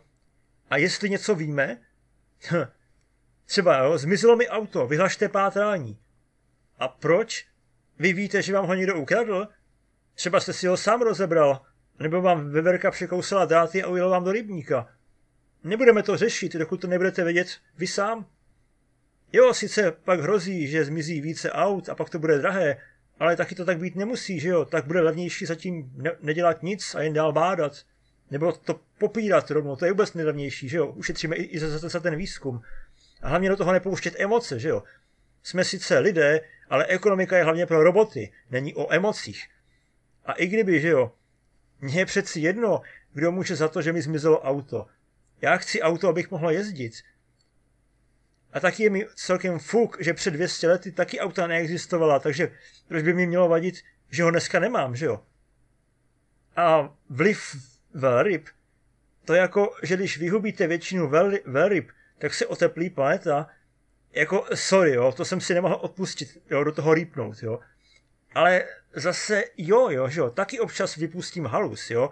Třeba jako, že by vegani v Ankapu stříleli jedlíky masa, jo, byť já to spíš jakoby beru uh, ironicky, protože já spíš jakoby sbírám názory ostatních lidí na internetu a pak jakoby je prezentuju a útočím na ně, jo, prostě, protože to je vlastně extrém, jo. Nicméně, jo, e, i tak je to, myslím, pravdě, víc pravděpodobnější, jo, než by třeba neexistence velryb spustila klimatické změny. Jo. Zase je fakt, že mohou mít vliv třeba na produkci kyslíku skrze plankton, jo. Tak možná jedině takto, jo. Protože plankton vyrábí kyslík, jo, a veliby ho žerou třeba, ale to by ho spíš bylo toho kyslíku víc, jo. Že by se spíš planeta mohla ochladit, jo. Otázka je, jestli třeba tím, že napumpujete do atmosféry víc kyslíku, vykompenzujete větší množství CO2. Jako zase poměrově ano, ale to byste musel zvýšit i tlak té atmosféry, že jo? Takže to zase může mít vliv na něco jiného. Vemte si, že i bouřky, že jo, jsou na nebo větry jsou na mrazu mnohem méně škodlivější než na Zemi a je to právě daný tím, že tam je nižší tlak. Jo? V souvislosti s faunou a florou je to totiž někdy zajímavé, jak se mnozí cítí děsně nadřazení přírodě. Jo? S výroky stylu klidně pro blaho dětí obětují všechny korálové útesy. Jo? Takový plankton je proti člověku vlastně naprostá, nebo naprosto blbá, jo? Tím, myslím tím neinteligentní forma života. Přitom ale produkuje až 50% kyslíku na planetě, jo? Takže je užitečný celé zemi a každému člověku. Co ale ten člověk, jo? Často pravičák, protože levičák přeci o ekologii zájem vůbec nemá, že jo, ale chce jen vládnout, toto pravičák, pravičák má ekologii v malíčku, že jo, ale vládnout určitě nechce. Skoro by se vlastně nabízel až citát z filmu Rabíř Ralph. Navíc jsem ve hře dost podstatný. Co ty, Gene? Hm? Ona ochrana přírody jo, může spočívat třeba i v tom, že si každý koupíme nějaký podíl všech zvířat na planetě, jo, a sice pak budeme muset majitelům aut platit myčku od trusu holubů, ale pokud bychom zase na listu vlastnictví uvedli, že můj holub nebo orel je jinak nedotknutelný pod trestem smrti, každého traviče, jako teďka je ta situace, myslím, že v Čechách, že nám umírají orly, protože někdo tráví, tak bychom vlastně každého traviče bychom pak mohli automaticky popravit. Otázka zase je, jestli tato ochrana vlastnictvím dává v globálu smysl a jestli nepřinese víc problémů, že jo? Stres, vymírání lidstva popravami, než prostě užitku. Jasně, že jo? Můžeme mít 10 grafů, jo, které jdou všechny třeba nahoru a může jít jen o korelaci. OK, ale tak mi prosím ukažte jiné zdroje, které by na teplotu mohly mít rovněž vliv, abychom mohli spíš vyloučit kauzalitu mezi lidskou činností a teplotou, či lépe řečeno dynamikou počasí. Respektive nevíme, no. OK, víme všechno o lidském tělu. Nevíme. Nebo o mozku. Tak jak má pak někdo tu drzost se člověka vlastně pokoušet léčit? Jo? Stejná logika. Nebo se nám hrabat v mozku. Když ale neustále mluvím o té logice, že jo, je třeba neplést s racionálním chováním. Logika a rácio není totéž. Jsme lidé, že máme emoce. Často tak půl na půl, jo, s logikou. Přitom emoce jsou právě opak logiky, že jo. Aby někomu, nebo ale někomu mohou přinášet třeba víc uspokojení, tedy zisk, než logika. Tady řekněme vulkánské myšlení, jo. Ergo v těchto případech být racionální znamená vlastně myslet nebo se chovat nelogicky, že jo. Třeba na sebe chrstnout v zimě hromadu ledu, nahý na náměstí, že jo. Teď mohou přijít někteří libertariáni a logicky to vysvětlit. A jak je to vlastně socialistické, emoční a v ekonomice naprosto nefunkční, že jo. Někdy se teda uvádí, jo, že libertariáni jen chtějí menší stát a teprve až anarchisty, anarchisté žádný, jo, což by ale teda znamenalo, že ANCAP vlastně nerovná se rovněž libertariánství, jen z něj vychází, jo, ale to už je teda jako jenom detail. Jo. Je tu odkaz na YouTube, povídání z auta, díl 208. Korporace, stát, chudoba, zodpovědnost a ANCAP studie. Jo. Mě teda spíš než mzda u korporace v té konkrétní zemi jo, je zajímavější otázka, jestli jim sice korporace nedá dvakrát průměrně tam, nebo dvakrát průměr, průměr tamní mzdy, ale její působností, například třeba znečištěním, se nezhorší životní podmínky v místě natolik, že životní náklady nebo i zdraví nebo zdravotní péči stoupnou třeba třikrát. Jo? To je vlastně takový argument na to, že lidé se mají lépe, když je někde továrna, než kdyby tam ta továrna nebyla. To neplatí automaticky, jo. Ale ta korporace, že jo, má své zákazníky, nás. A my máme možnost ukázat, jak nám záleží na těch lidech, jo. Zase to reaguju na, na to video, jo. Nemusíme ji zakazovat státem, že jo. Stačí od ní nekupovat, nebo ji vydírat. Ve stylu, zlepšete tam ekologii, nebo lidem zvyšte mzdy, anebo nakupovat nebudeme. A ten příklad se, se známkami a průměrováním znám, jo, to je, jestli neznáte, jo, to je prostě uh, školní třída, že jo. Jsou tam lidi, kteří mají nějaký prospěch, že jo. jo. A pak se vymyslí, což má být asi socialismus, že všichni dostanou průměr, jo? což znamená, že e, nejlepší dostane jedničku, nejhorší pětku, ale pak všichni dostanou na vysvědčení třeba trojku. Jo? Tohle vám bude nějaké, nějakou chvilku fungovat, jo? ale časem ty nejhorší přijdou na to, ty, ty co mají třeba čtyřku, že jo? proč se vůbec učit, protože dostanou trojku i tak. A naopak, ten, co má jedničku, se začne prát, proč bych se měl naváhat, když dostanu stejně trojku. Jo? A nakonec vlastně všichni propadnou, protože se přestanou učit. Jo? Ale tohle nemusí fungovat vždycky, že jo? Protože ať už jde o známky nebo o peníze, že jo, ukazuje, že tento motivační systém je vlastně mrtvý. Že jo?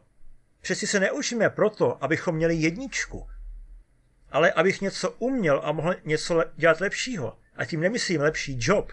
Jo? Takže pokud, pokud škola správně funguje a motivuje děti, tak děti se nebudou učit kvůli tomu, jakou dostanou známku, ale kvůli tomu, aby se něco naučili. To znamená, že i kdybych já chodil do školy, kde se učil počítače a naučil se to a přesto bych pak dostal na vysvědčení pětku, tak jako, co jako s tím jako mám dělat? Já budu umět počítače. Na moje maturitní vysvědčení se, se vodový mý školy nikdo ani nepodíval, jo, třeba. Ani můj zaměstnavatel ten, ten doteďka nevěděl, že jsem na základní škole malém propad, jo. Prostě uh, uh, jo, stejně tak jako práce, že jo, by neměla být zaměstnáním jenom pro peníze a přežití, ale pro zlepšování života nejen sobě, ale i ostatním, že jo.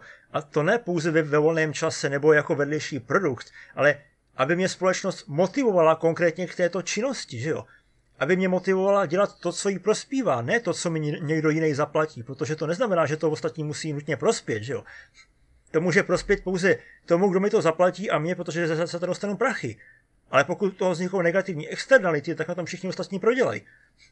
Takže vlastně ve výsledku sice ekonomika roste, ale my, my nemusíme tolik bohatnout, že jo. Pracovat na sobě, že jo, nebo pro ostatní, ne proto, že všichni okolo mě makají jako mesci, ale protože mě to baví, že jo, a vidím tam smysl.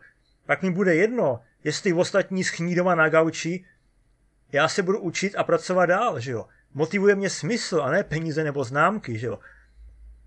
A když ještě na to video, a zachránit svět třeba tím, že nějakého diktátora v úzovkách nezachráním jako dítě nebo ho rovnou zabiju, nad tím může přemýšlet asi jen člověk, který ještě věří tomu, že zlým se člověk narodí a okolí na něj pak nemá žádný vliv. Jako nic vezem, ale zkuste o tom ale konkrétně přemýšlet. Pak je tu odkaz na seznam zprávy. Společenská odpovědnost firem. Hm? Takže je to prý utopie, jo? Ale vyčácký nesmysl, že lidé přeci nesmí říkat hospodským, jak má řídit svou hospodu, jo? Ono je totiž ve výsledku jedno, přes jaký to je mechanismus, že jo? Já jsem nebyl pro státní restrikce, já jsem jen říkal, že je blbost stoprocentní nechat na pokoj. Prostě podporujme chytré kapitalisty, ale zabraňme ten hloupým, jakýmkoliv istům, včetně těch kapitalistů, aby nás sebou stáhli do propasti. Další odkaz na seznam zprávy. Maskův špatný den prý může zasmrt koček a musí svolat 150 tisíc aut. Z diskuze, jo? Prý si máme kočky hlídat, jo? Jako jak? Máme je zavřít do domácího vězení? Nemyslím si, že by podobný kec pan či paní přijali, kdyby jim někdo dítě při předcestě do školy, že si ho měli lépe hlídat, třeba zamknout doma pod zámkem. Jo. Někdo říká, jo, když už jsme u zase ekologie, ať si příroda poradí sama. Jo. To je hezké, jo, ale to by platilo stejně jako u svobodné vůle. Kdyby se do ní nevměšoval kdokoliv jiný. My vlastně říkáme, jo, poškodili jsme to, životní prostředí, ale škodu ať si to nahradí samo. Vlastně se tak chováme jako stát. Ukradneme část celku a pak necháme zbytek, ať si poradí, jak umí. My přeci za nic nemůžeme, že jo? A pak ještě máme tu třeba drzost říkat, že příroda je v kilu a potřebuje, aby, aby se o ní člověk staral. Ježíši Maria. Vlastně jsme přímo nic neudělali, že jo? Jen jsme pak parazitovali na tom zisku z toho, že jo? Neuvědomujeme si ale, že my nezachraňujeme přírodu kvůli pandám, jo? Protože ekosystém musí dobře fungovat, aby mohl sloužit nám, konkrétně, lidem, že jo? Ne lidem, lidstvu, ale mě jedinci, jo? Jestli někdo likviduje ekosystém, ačkoliv pak sám domýšlivě prohlásí, že neexistuje údajně možnost, jak spočítat všechny možné vazby na světě, tedy že vlastně i existuje šance, kdy svou činností zabije jiné lidi nebo i spáchá sebevraždu, tak nemá sebe menší nárok sám sebe nazývat kapitalistou. Možná je pravičák nebo libertarián, ale jinak je to jenom debil. Ona totiž tvrdit, že systém, kdy jedna strana něco podělá a další vydělá na řešení těch ho, výtrusů, je vlastně nejlepší možné, jo? Je krátkozraké. Protože vlastně předpokládáte nekonečnost neboli nevyčerpatelnost, že jo? Klimatologie sice také pracuje se zatím nepřesnými modely, že jo? Také předpokládá, podobně jako akciové trhy předpokládají, ale e, klimatologie, že jo? Dokud se do ní nevmísí politika, si alespoň víc přiznává vyčerpatelnost. Politici jsou a budou idioti vždycky, jako třeba teď ti zelení v Německu, co chtějí zakázat stavět domy. Hm? A co se tím jako systémově vyřeší? Jo? Ale víc než halus od politiků, kterých je jen pár a vlastně nemají ani v reálu moc velkou moc, mě zaujaly haluze od diskutujících jo? pod tím článkem. Cituji, jo? Bydlet a mít soukromí je jedno ze základních lidských práv. Pro zelené neomarxisty jsou ovšem lidská práva celém papíru. Konec citace. Když teď pomineme problematiku kladných práv, myslí pan písatel na všechny lidi, anebo je na svou, respektive naší povýšenou kastu? Mají toto právo i chudí v Africe? A pokud ano, co dělá proto, aby jim bylo zajištěno? A nebo je sám neomarxista? I když to by asi byla urážka pro ty libertariánské, tedy nestátní, nenásilné marxisty, že jo? Dobrá hláška je, jo, zase, kde vám dal právo určovat mi, jak mohu bydlet? No, to je otázka celkem snadná, že jo, nebo odpověď. V momentě, kdy začnete produkovat negativní externality, které se těch konkrétních lidí týkají, jste jim vlastně na to právo dobrovolně udělil, že jo? Bohužel. Svoboda jde vždy ruku v ruce s odpovědností. A nestačí si jen myslet, že už děláte dost. Potřebujete to mít jakoby černé na bílém, jo? A nebo další můj oblíbený výrok, jo? Je špatné sebrat lidem práci a nechat za nás sloužit stroje. Proto je projekt Venus špatný. No nazdar. A jestli pak daný nebo daná diskutující má všechny své statky vyrobené čistě lidskou prací, hm? no pochopitelně, že ani z větší části ne, že jo? Protože by si je v dnešním světě nemohl či nemohla dovolit. Pokud teda není miliardář, jo, a nekupuje jen handmade výrobky, že jo? Ale nevím, odkud pak bere elektřinu, že jo? Asi nějací běžci v kole jako křečci, že jo, co přes ebonitovou tyč třou něčí ocas, nevím. Jo, protože přeci to nemůže být dělat technologie, že jo, nebo zlé stroje, že jo. To by na nich byla závislá, to, to by upírala eh, lidské práci kredit. Říkáte tím, jo, že věříte, že vlastně pokaždé, když se něco pokazí, jo, bude možné vlastně vyvinout alternativu, jo. Jako třeba, že když třeba zničíme odnou půdu, tak nás zachrání hydroponie.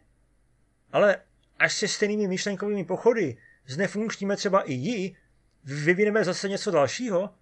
Ano, třeba pak už jenom pilulky, že jo? A pak třeba zbavíme lidi těla, aby nemuseli jíst vůbec.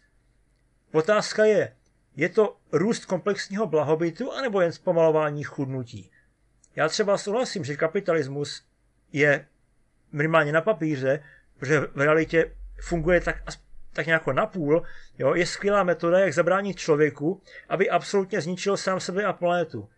Ale nijak tam nevidím tu super zářivou záruku, že kapitalismus vždy povede ke zvyšování bohatství. A tím nemyslím, že bohatne planeta, že jo, ale že bohatnou, tedy nechudnou jednotlivci, že jo. Sami po planetě, že jo. A to se dnes děje, že jo. Ono totiž přirozený stav nebylo, že 10 až 20% populace umíralo hlady, že jo. Výchozí stav planety byla populace, která žila tak, že jí její prostředí bylo schopno ještě uživit, byť někdy neměla úplné hody, že jo. A k tomu jsme se zatím ještě nevrátili. Ano, v průměru je každý člověk bohatší, ale mnozí jsou na tom ještě hůř, než kdyby žádná civilizace ani ekonomický systém neexistoval, že jo. Třeba domorodé národy, které nezbohatly tím, že jsme jim sebrali pralesy a prodali jim trička z továren, že jo. Nebo máte snad tu drzost prohlašovat, že, že naše tričko je pro ně větší bohatství než jejich prales? To asi ne, že jo? To byste pak nebyl libertarián. Je tu odkaz na českou televizi ČT24. Lidmi vytvořený materiál už je těžší než celý zbytek živé přírody, popsali vědci. Jo, musíme si totiž také uvědomit, komu vlastně nadávat. Jo? Když se objeví titulek Vědci varují, že přijde katastrofa, skutečně to ti vědci tak řekli? A nebo to jen tak sepsali redaktoři? Jenže my pak nadáváme jakoby na ty vědce, že jo? Pak je tu čtí doma.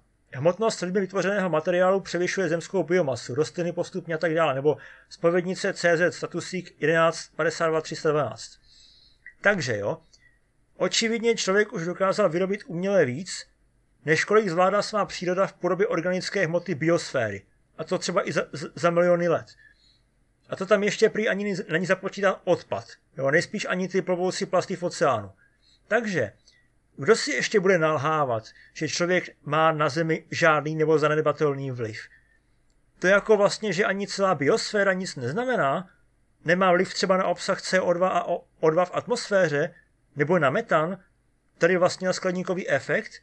My si totiž ne, neuvědomujeme, jo, že přírodě tu vlastně nekonkuruje jen 8 miliard lidí. Máme také stroje. Kdybychom vzali jen a pouze, že na každého člověka připadá jedno auto a nic navíc, jo, a že benzín do něj se zmotňuje sám od sebe, stejně jako veškerého vybavení, tak docela slavý motor má výkon cirka 50 kW. Člověk naproti tomu má výkon tak zbylou 400 W, a to ještě jenom možná krátkodobě. Obojí v podstatě dýchá, tedy vlastně žere. A ještě si sami spočítáte, kolik gramů CO2 vypustí něco, co má 125 krát vyšší výkon, že jo? A tedy i přibližně také o něco vyšší spotřebu, jo? Ne samozřejmě uměně, protože auto je někdy efektivnější než člověk, co se týče využití energie, jo? Auto může mít třeba 100 gramů na, na 100 kilometrů, jo? A může jich za den ujet klidně až 3600, jo? Třeba autonomní auto, dejme tomu. Naproti tomu člověk za den asi 1000 gramů CO2. Jo? To ukazuje nejen, že člověk a jeho práce je vlastně zoufale neefektivní, že, jo? že kolik lidí by bylo třeba, aby vlastní silou rozhýbali auto na rychlost 150 km za hodinu. I kdyby tak rychle dokázali běžet, že jo? Nebo zvedli do výšky třeba 500 tun nebo spočítali za vteřinu miliardy operací násobení. Jo, se spotřebou řádově v desítkách vatů dohromady u toho počítače. A také vlastně i to, že ekonomiku už vlastně dnes dávno netáhnou homo sapiens. Jo. Jen na příkladu auta tu vidíme, že na každého, kdo se veze, vlastně maká ekvivalent 125 lidských otroků. Jo. Takže také vlastně i to, že rázem jen na těch autech bychom tu neměli 8 miliard lidí, ale řádově pole produkce CO2 až 36 miliard lidí, jo? Protože některé stroje skutečně jedou 24 hodin denně, často, často i auta, a tedy vlastně i jejich emisí, jo? A to jsou jenom blbý auta, jo? Proto, proto často vlastně nevychází výpočty optimistů, že jo? Počítají lidi, ale zapomínají na stroje a často i na bakterie v půdě, které také mají emise CO2, že jo? Když tak je tu odkaz na Energy Globe, lidské tělo jako baterie, nebo stavebnictví 3000, vydýchaný vzduch, ego správně vyvětrat. To s tím vlastně souvisí, jo. K tomu se docela hodí zajímavý příklad, jo, jak sám trh může někdy škodit, i když pomáhá. Mějte třeba firmu, jo, která vyrábí čističky vzduchu, protože jsme si ho zasvinili, že jo. Tak vlastně ten někdo pomáhá, což je dobře. Ale zároveň vydělává na, cizí, na cizím neštěstí, že jo. Protože kdyby ostatní netrpěli, jakoby, on by neměl zisk. OK, že jo, pokud někdo napravuje chyby jiných, ještě se to dá pochopit a akceptovat, jo, i když si na to třeba dělám komplexně. Nebudeme teď mluvit o ideálním případu, kde, kde vyrábím, rovná se prodává, rovná se beru peníze, rovná se jsem užitečný, jo. Ale také netvrdím, že ho nelze dosáhnout, jo. Protože neexistuje jen špinavá výroba a pokrok, nebo ekologie a návrat na stromy, že jo. Stejně jako neplatí, že když chcete jezdit vlakem, musíte spalovat v lokomotivě uhlí a čadit celé okolí. Problém s tou čističkou vzduchu dnes, a tady v realitě, jo, výjimky bohužel zatím spíš potvrzují pravidlo, že i kdyby samotná továrna byla ekologická, ve smyslu, že její uhlíková a jiná bilance by byla nulová, což neznamená, že, že nebude produkovat emise a odpady, ale tyto se musí vyřešit v rámci její interní ekonomiky, například třeba vysázet ekvivalentní počet stromů, recyklovat, mít filtry a tak dále, že jo. tak zatím nemá zajištěno, že je ekologické i vše okolo ní. Jo, tedy těžba surovin, přeprava, logistika, tady vlastně i přeprava lidí do práce a tak dále. Takže v konečném důsledku jo, je možné, že i když firma jakoby řeší znečištěný vzduch, byť třeba jen u nás doma, ale tam vletí ten prach zvenku, že jo, a je úspěšná, tedy lidé jí za to platí, svou existencí a provozem možná vyprodukuje víc znečištění, než samotné čističky odstraní. Jo? Právě třeba emisemi nákladáků, co, co je rozváží do, do, do obchodu. Že jo? A daný zákazník pak vlastně za jeden účel platí dvakrát.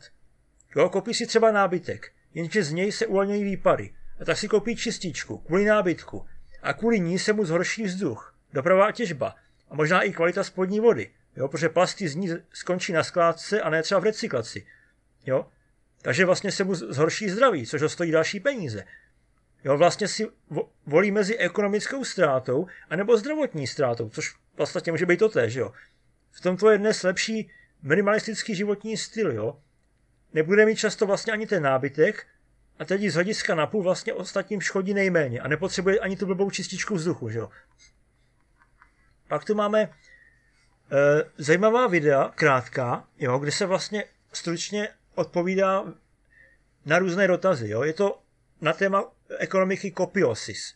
Odkaz na YouTube. Jo. První je od číslo desítka. Kolik domů by člověk měl mít? No totiž účelem RBE nebo Kopiosis není brát lidem, co mají pět domů, čtyři domy a dát je bezdomovcům, ale motivovat lidi, aby za prvé stavěli co nejefektivněji domy pro všechny a za druhé vníma, vnímali lépe a pomáhali těm, kteří jsou ochotni se sami dobrovolně vzdát nadbytku pro potřeby ostatních. První, kdo začne mít něco o státu nebo donucení, si může rovnou nasadit na hlavu korunku s nápisem Král všech idiotů. A nebo ať mi dá odkaz a pozici na video, kde to zaznělo, nebo citát na link na dokument, kde je to napsané. Že o tom kopiosis je. Jo? V komunistickém manifestu to máte jasně – Zkuste to najít i tady, Vigéniové. Jo? Kopiosis jasně říká, že to není o státu, ale o soukromém vlastnictví. Jinak se vám pak veřejně omluvím klidně. Jo? Co si myslí on sám, že tam je, mě ale moc nezajímá. Jo? Kulturní filtry mě nezajímají. Co ho učili ve škole nebo na internetu mě nezajímá. Fakta mě zajímají, pokud mají do tuhého. Kopiosis je o aplikaci pojmu šetřením a přerozdělováním se k bohatství a blahobytu nedostaneme, ale zároveň klade velký důraz na efektivitu a udržitelnost ve všech oblastech. Jo, když tak mrkněte na playlist na YouTube. Další jo, video je pětka. Jo. Negativní výsledky znamená žádná odměna. Jo. Tady vlastně hodnotíme skutečný celkový výstup člověka, ne to, co dělá za povolání a čím se živí. Jo. To je totiž důležité, jo? protože vás budou hodnotit i případné oběti vaší snahy, že jo? A neb, pokud je to pravdivý výrok, pak vznikne toto vlastně, což je asi od Nelsona Mandely, jo? E, já to zkusím přeložit z toho záchodu, protože to bude asi trošku krkolomný, jo? Fidela Castra jeho nepřátelé nazývali tyranem, ale já viděl, že posílal doktory e, do těch zemí a národů, kde tzv. demokracie pouze posílali bomby. Jo? Nikdy mu nezapomenu jeho nes, ne, nesrovnatelný příklad nezaujatého internacionalismu. Jo? Tečka. Protože mě pak nezajímá, že jo, pod jak barevnou vlajku se schováte, když třeba vaše země má vyšší umrtnost novorozenců než země, na kterou je navíc uvaleno embargo, že jo. Blbé, co? A pak v roce 2021 vám zamrznou plynovody a elektrárny v Texasu a dál, ačkoliv blbí a zavostalí v úvozovkách Rusové nebo Finové s tím očividně problémy nemají, že jo? Zombí říkat, nálepky nenosit štěstí, no. Doporučuji také další sekvenci videí, jo, která, která je z YouTube. Jo. První je, eh, jak funguje bohatství, sedmička je, banky nejsou špatné, osmička, pojištění není zbytečné, devítka, každý je miliardář, jedenáctka, eh, teď nevím, co toto slovo znamená, si musím říct slovník. Jo, co, co, s, bev, co s bezdomovci, jo, co jsou vlastně prostě jenom pár minutová videa ve stylu fuckwe, že jo, kopiosis, a je to anglicky z titulky, by vás to zajímalo. A nebo poslední, jo, třináctka, největší problém v našem ekosystému, že jo. A teďka si dovolím citovat, jo. Kapitalismus sám není ten problém. Konec citace. Hm? Tohle pravičáci nebudou slyšet rádi. Budou si totiž ještě muset navíc vymýšlet, aby mohli alternativ, alternativu setřít jako rudošskou, že jo? Chudinky. Úplně je mi líto. Ne. Jo. Já bych teda poradil všem, jo, když už je zaujme nějaká alternativa a je fuk, jestli to je ANCAP nebo RBE, aby ji nepřejímali. Jo. Studujte ji, stavte na ní třeba a vymyslete si vlastní verzi, jo. Protože je tu totiž dost velká pravděpodobnost, že žádný jiný člověk nevymyslí nic, co by vám vyhovovalo nejlépe. Stejně tak, že žádný člověk sám o sobě nevymyslí nic, co by vyhovovalo všem. Ale můžete víc ze společného základu a patřičně si ho upravit. A zpětně se z toho potom vyprofiluje něco, na čem se shodnou všichni, že by se mohlo dělat. Protože vlastně to nebude kompromis, ale už koncenzus, jo. A to, na čem se neschodnou, si hod každý bude muset dělat sám. Jak prosté.